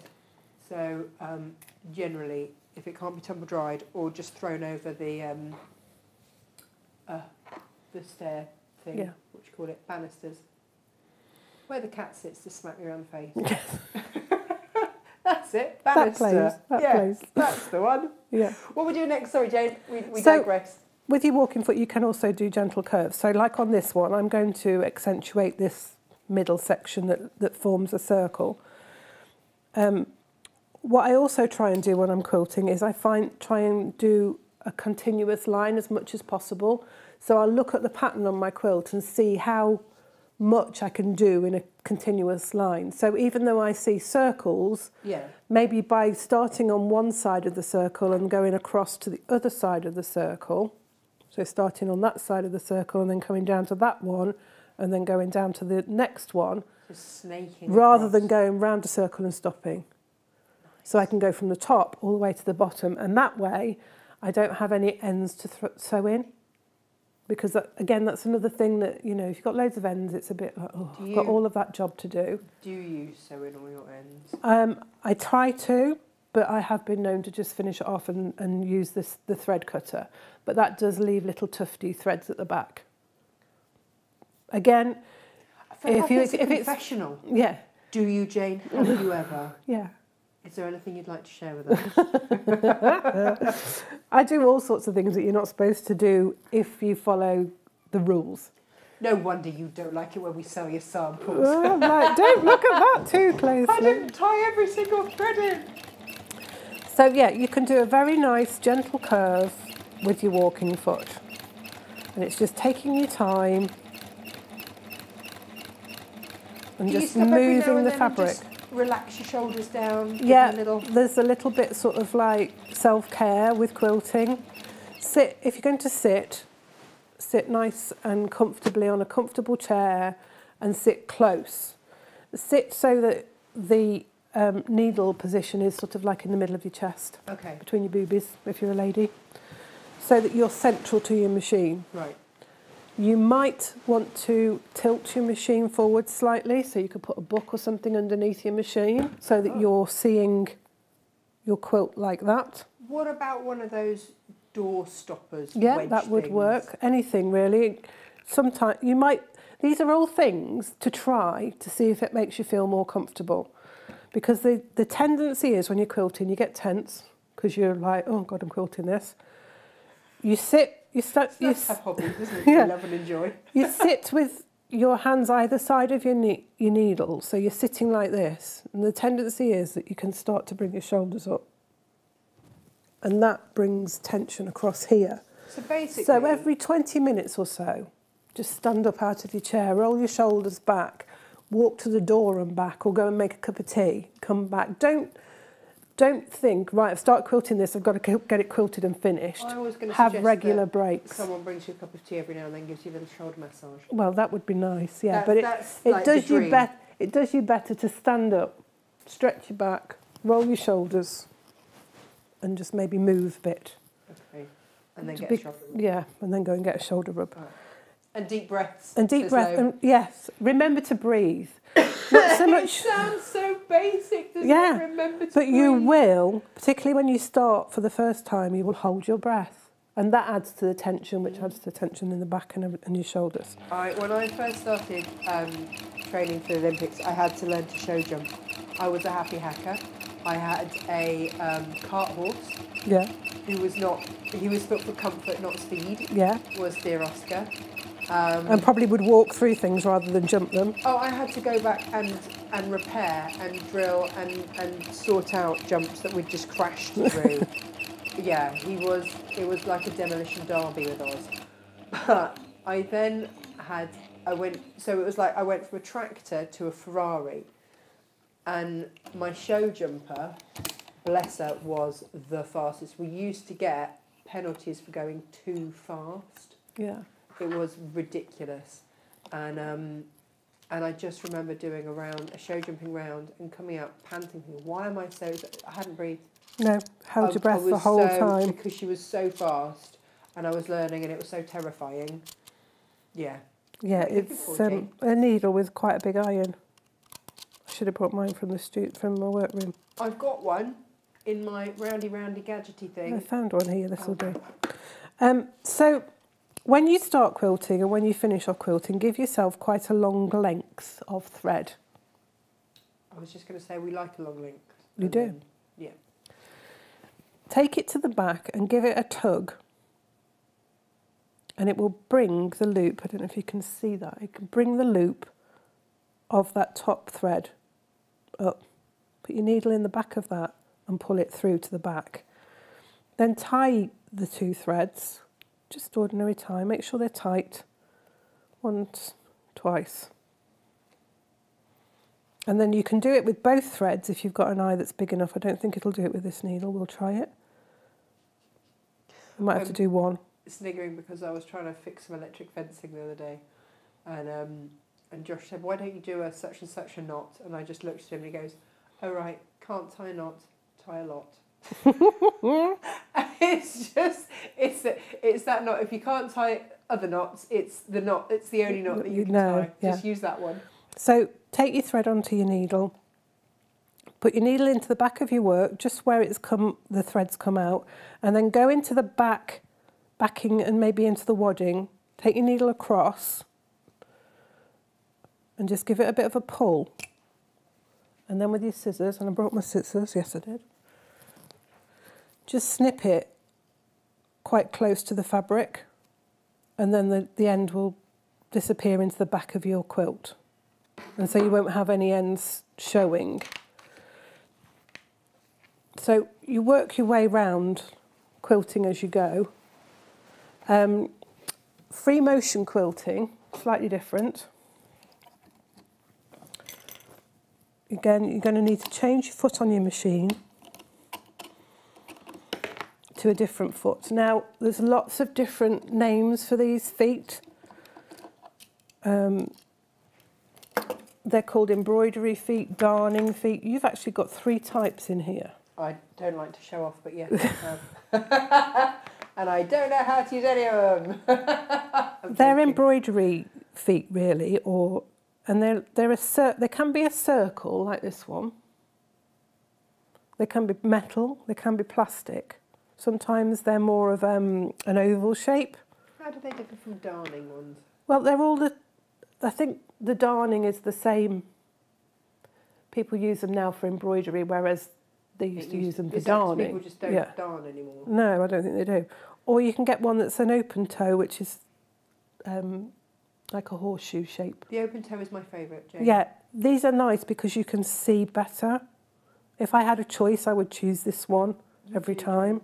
You do have a choice. My machine comes with one that's a closed toe and it's more of an oval shape, but it's clear plastic, so it's easy to see.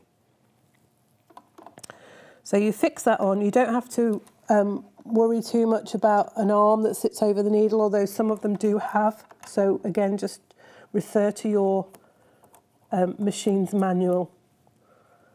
And you may have to drop your feed dogs. Um, again, there'll be a switch on your machine that drops the feed dogs down. And the feed dogs are the grippy bits. Yeah, now you don't have to drop your feed dogs. This is where it gets complicated, Yeah. isn't it? Yeah. Um, the thing with an a darning and an embroidery foot, if I lower that foot, it doesn't press down on the fabric, it doesn't hold the fabrics together, it just glides across the top so you can move it around anyway. So you don't So your feed dogs don't really do anything. Okay.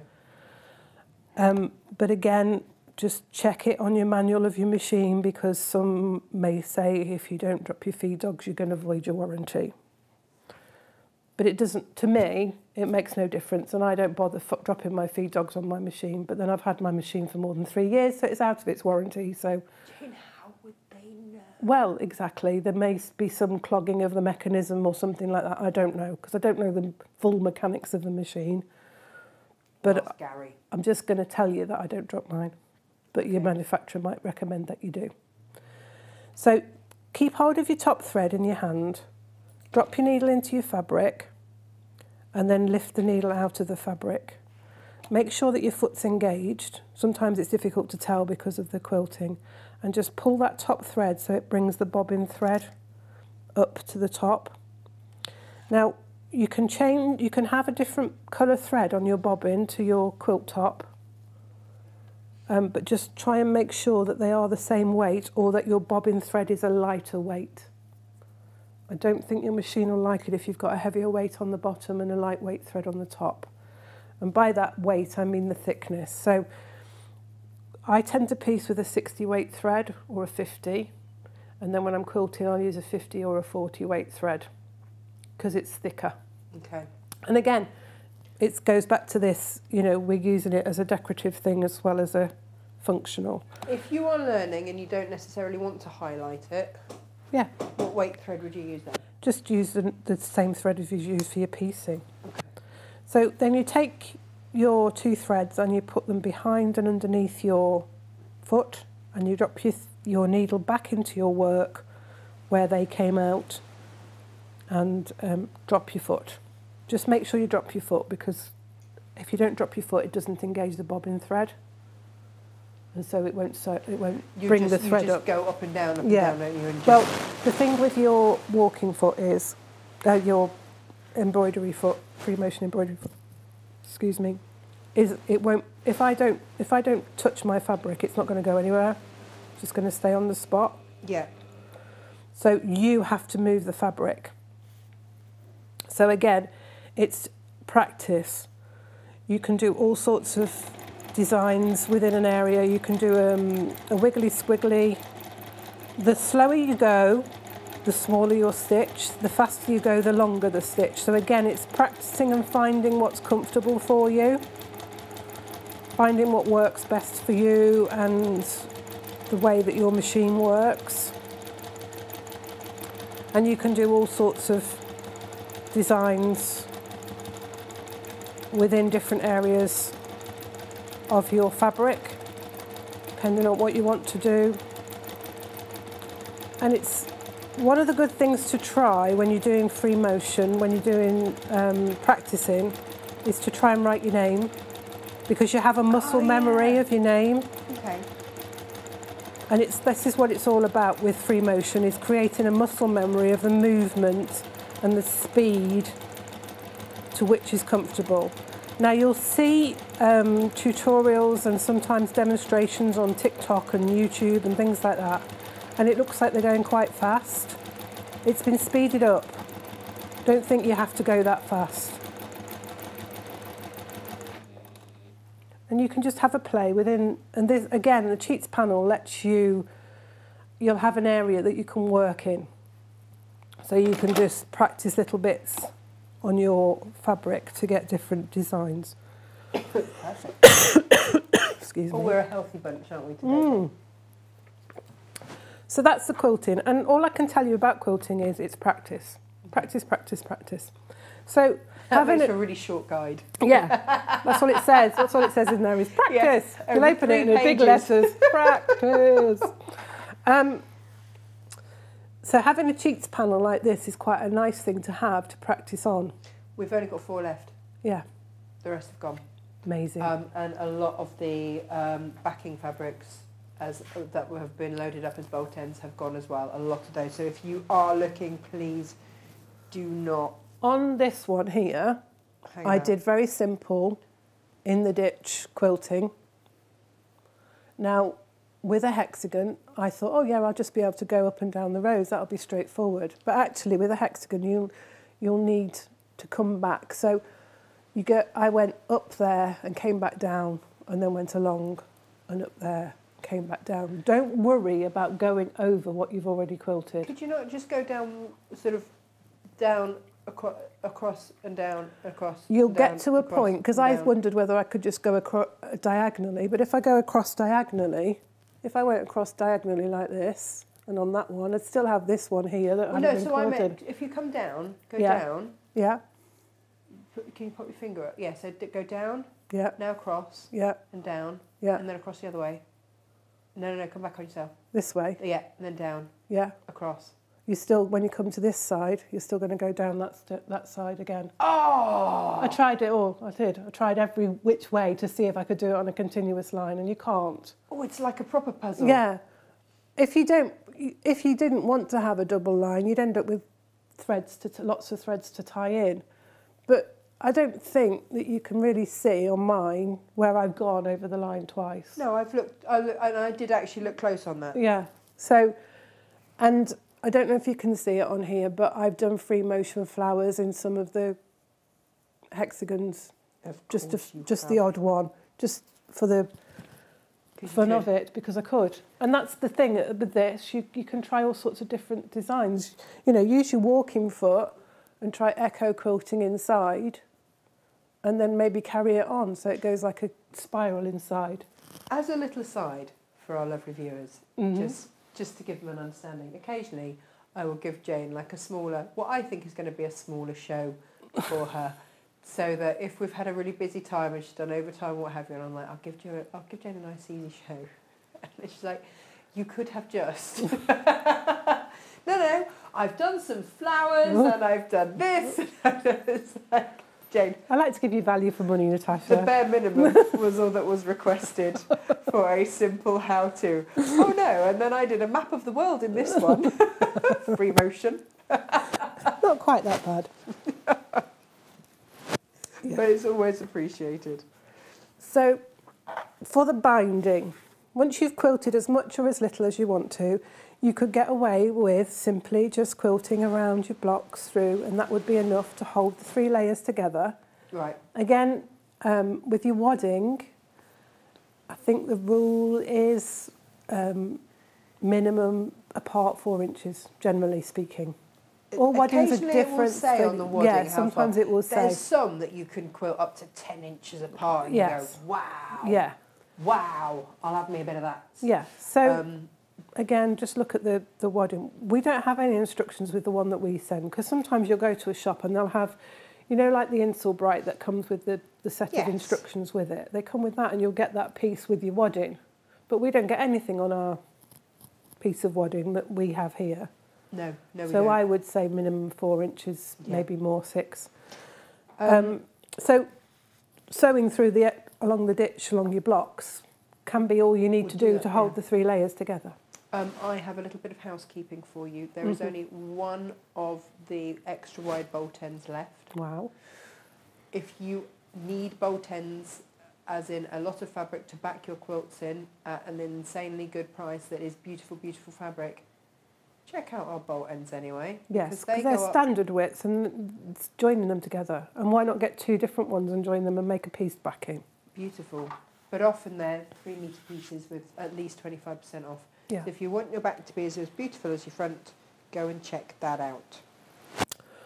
So the binding. Now, we've done edge to edge binding before where you take a two and a half inch strip of fabric, fold it in half, attach the raw edges to the side of your quilt and bring it to the front or the back and hand stitch it down. Mm-hmm. And that is the traditional way of binding your quilt. But sometimes you have enough fabric and you want to bring it from the back of your quilt to the front. Mm.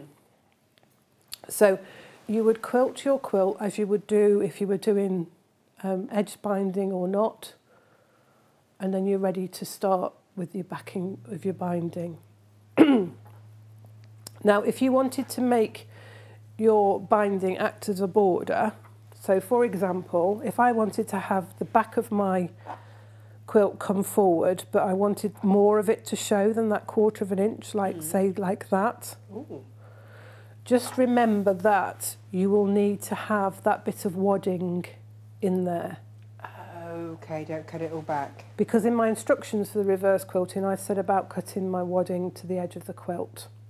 But if you want to have a wider border, if you want to have it wider, um, you'll need to leave that bit of wadding to so do you're that. going to use the wadding as a guide then? Yeah, basically. Um, what you need to do is you need to make sure that your backing fabric is completely out of the way. And what might be a good little thing to think about is maybe not quilting right to the edge so you've got a bit of manoeuvrability to get that wadding out of the way. Oh, okay. Um, you can pin it, you could even press it out of the way if you wanted to. Um, you can then rotary cut it, but actually I tend to, for this method, I would use my scissors just so that I can make sure that I haven't caught Oh, okay. my backing. yeah, Because yeah. I've done it, I've cut into my backing before now with my rotary cutter. Um, So just trimming it to the edge. Apart from saying words that you can't say in church, what would you do? Um, I've used um, a bit of bond and repair, just on the what would be the reverse of my Mm. backing fabric. Put a bit of bond and ironed a bit of bond and repair on, and that's held the fabric together enough. And then you're going to stitch over it anyway, so it would be okay. Okay, right, it's not the end of the world. No, Okay. and you can stitch. You could stitch it, make darn it. Put a if it's really bad, put a piece of fabric over it. That's what I'd be saying. Darn it. darn it, or words to that effect. So yeah, trim your wadding back. So you've moved your backing out of the way and trim your wadding back so that it's level for this method, so it's level with the edge of your quilt. And I can feel, you see, I can feel the, the backing there, so I've just got to be careful. But as I say, if you want to make it wider as a border, then just think about how um, much wadding you've got and how much how wide you want your border to be. I hadn't thought about doing it that way. I like that. Yeah, because you can. You can really make it a feature. Framing, it's like picture framing, isn't it? Yeah. It really can, you know, change a change a thing. So, um, you need to think about how wide you want your binding to be because it can be as wide as you like. I mean, I can still fold that over and I could bring it and it could come right over, but you're going to lose some of your work by doing that, which is why you would want to leave your wadding to then bring that over and that will still come to the edge there and not hide, but give you that extra there. So for this method, I cut um, the fabric to an inch because I need. You have to think about this, and you have to think about it in a in a sort of like weird way because you've got your half inch seam allowance, but it's not just your seam allowance because we fold it over by a quarter. You've got to take into account the depth of your quilt, so we give a quarter of an inch for the depth of the quilt as well. Okay. So that's what that because when we do a half inch seam allowance, it's a quarter of an inch either side. yes. But actually, it's your quarter of an inch plus the width, of the height of your quilt. Yeah, you're working in 3D, aren't you? Yeah. So it's easy to forget. So I just cut mine at an inch. You could cut it narrower. I wouldn't cut it less than quarter of an inch, uh, less than half an inch rather, because you will only get a very fine um, binding on it then.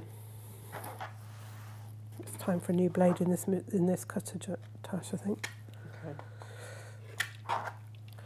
And you'll It's- do it's that. done a lot. I was going to say it's been very busy. Um, you'll do that all around your quilt to the size that you want it. So I'm just going to do two sides for demonstration purposes. Okay. I'm just going to trim this down.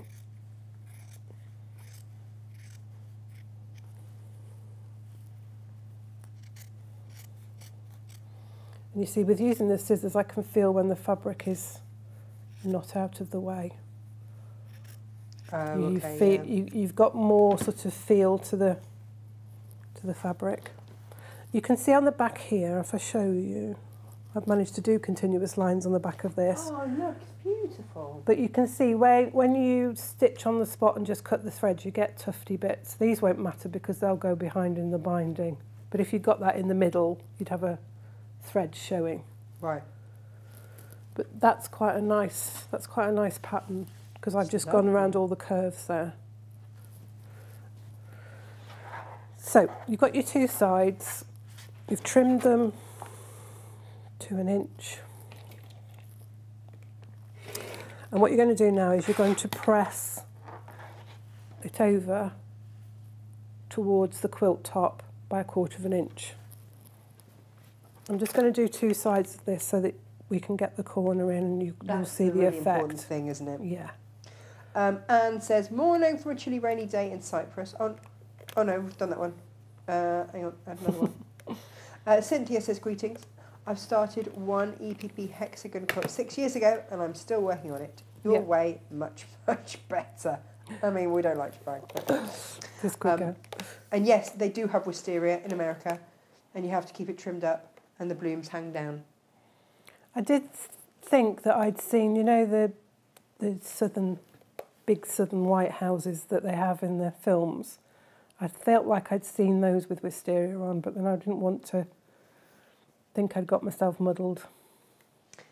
Oh, hang on. Cynthia says that for small projects, we're talking um, things you put on your fingers for free motion. Yeah. This is genius. She said, I use a product called Sortkwik on her fingertips. It's the stuff secretaries and bankers use to help Oh them yes, sort. yes. Oh, that's Yeah. jolly clever. They look like they're like rubberized thimbles, aren't they? That- Yeah.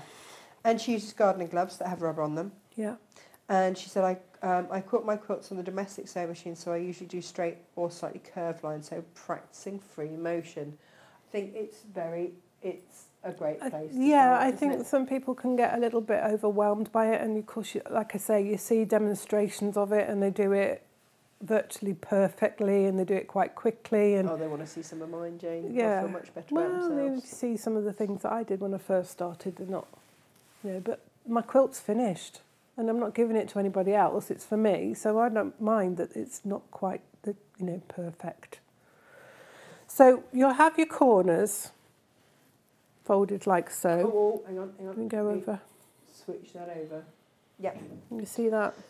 you've got quarter of an inch folded in, and that's folded over. You'll bring that corner towards your quilt top to find so it's sort of at right angles to your quilt, so it forms a triangle. You want to be careful that the triangle edge sits at the point of the quilt underneath. If I run my nail, you can see the edge of the quilt there and there. You don't want to pull it too tightly because it'll pull the quilt up and you won't get a nice square mitre. And then you bring these two edges into the middle and that line should fold. You Might need a little bit of manipulation with your fabric to form a nice, neat hmm, mitre like so. Now you can um, you can sew this down with more or less any stitch you like really to create the edge. You can use your um, slip stitch like you would by hand to hold it down and then you wouldn't see any line of stitching. You can pin your corners down once you've got them, once you're happy with how they meet and they lie flat and nice and crisp for you. You might want to just give it a little press just to fold it in and pop a pin in it just to hold the two edges. Someone's just asked, when is the quilt on the wall demo, please? Now, this is it. This is this is it because that quilt on the wall is a cheetah panel. So you can buy that cheetah panel if they haven't all gone. Yeah. And this is these are so Kim. This is this is the how to. This is the how to. This is it. Um, we've just used a different panel so that it didn't eat into the numbers that we could bring for you. I think we might go close up and show that corner again Okay, go on then. because I know what my hands my hands are big and I might have just gone over the top of it. My hands are big. Have man hands. So we've folded that corner over, making sure that we've still got all of our quilt underneath and it's not folded over on top of the quilt. So the fold is just in front of the corner.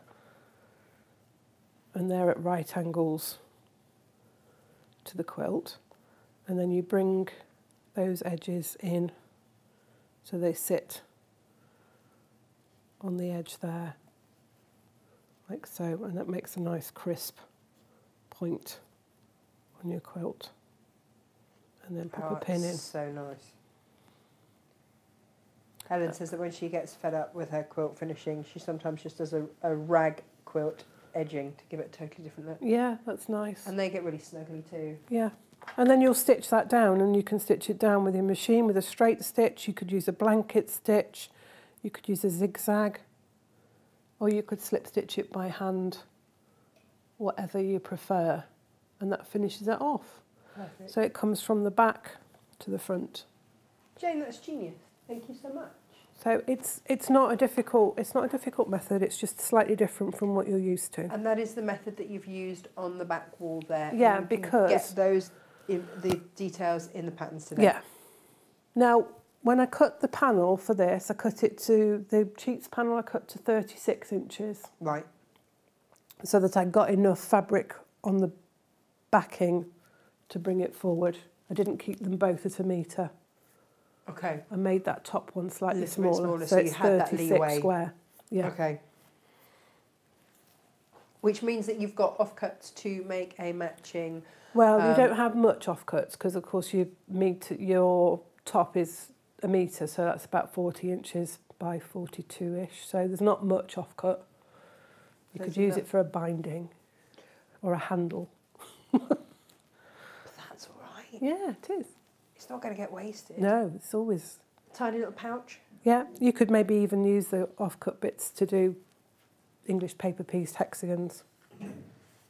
Oh, Colette says, I find the size of my quilts, mostly double or king size, too overwhelming to do by machine, so she does them by hand. Mm. My word. Well, you see, people that hand quilt, they get quite quick at it because they do it all. It's again, it's this practice, isn't it? The more you do it, the easier it gets. Yeah. And and I know people that can hand quilt and hand. Well, I know people that can hand piece quicker than people that can machine piece. That's nuts, isn't it? Yeah. I guess it's, it's practice, isn't it? It's Mm. any kind of practice. do. Sorry, scoot Yeah. the chair again. Yeah. That's amazing. So yeah. Um, you'll be glad to know there's been some highbrow conversation whilst you've been going on. Lo got the wrong Facebook feed and added on a what has five toes and is not your foot? My foot! Oh, brilliant. Um, uh, but she did say it was meant for a friend, not for on here. Um, so that's all good. We've done this quilt demo now. So Kim, um, that's yeah, Kim's sorted. That's good. Um, anyone tried random quilting rules? I can't uh, get on with them. Rules or rulers, Pat? I think possibly rulers. Okay. Again, Pat, it's, it's practice. And it's it's hard, isn't it? You'll go to a dem- to a quilt show and you'll see someone demoing in them, and they make it look really easy. But the number of hours they've put in. Yes, they Yeah. practice all the time. So Josh is in a band, several Mhm. bands, and they've got a battle of the bands coming up. And one of the band members said, "Oh, I just can't get this thing. You know, what what can you what what can you do to help me?" He said, "It's practice. Mm. It's just your own personal practice. That is That's all. Anything. it It's like when you and learn to play really the piano. boring reply, Yeah, but it's true. yeah. It's like anything you do. When we were children, you know, we didn't just get up and walk, did we? We practiced it. We And we fell down. we fell and down we, and we got heads, yeah and we got cried, up and yeah. we got up again. And riding a bike. were we going to reach the biscuits, Jane? Yeah, riding a bike, learning to write, all of those things we practiced, practiced, practiced. You know, and I think as so adults we forget that and we just think we can do things straight away. Freddie said to me that he's really excited because he's got his pen license. So this is a new thing. Yeah, I say new. In fact, it's probably been going for like twenty years. But um, when he's done when he's done his handwriting neatly, consistently, yeah, he's allowed to use a pen rather than pencil. So he's super Wow. excited. He's got his pen license and his pen now given to him at school. So he's very Mm. excited about that. But I also read a very interesting thing the other day, which said if you just give children computers and phones and things like that to play on, then they won't get bored, and the writer won't start writing, the artist won't start doodling, no. This and is it's it. just so right, isn't it? We won't find those other crafts. That Somebody are so was rewarding. saying, I was reading something the other day, and they said children aren't allowed to be bored anymore, and that's when they lose their imagination. And like you Mm. just said, we Mm. we will lose our artists yeah, because they won't have that time to just look out the window and daydream and imagine the clouds and thoughts. You know, stories won't come to them. yeah, yeah, yeah, yeah, absolutely. Um, Kim says, could you make yesterday's pouches with um, old timey metal zips? Yesterday's pouch. We didn't do a That pouch was zip in that, was it? it? Was it the ones before? What did I do on Monday? What did I make on Monday, Jane? I can't remember. Oh, we did the Oh, your flower pots. thingy thingies. Do you mean last week's um, ones? These ones, the, these lovely nesting ones. Do you mean I these love ones? this. I love this little dinky one. Yeah, you can. Of course you can. Yeah. Yeah. Yeah, just just don't put your needle near the metal. That's Yeah. all. Yeah, because it'll. Yeah. Yeah. Yeah, Oops. absolutely. Um, Jane, It's done. Wednesday. It is That's Wednesday. it. It's gone midday. Oh gosh. It's time for lunch. Yes. Yes. Thank you ever so much.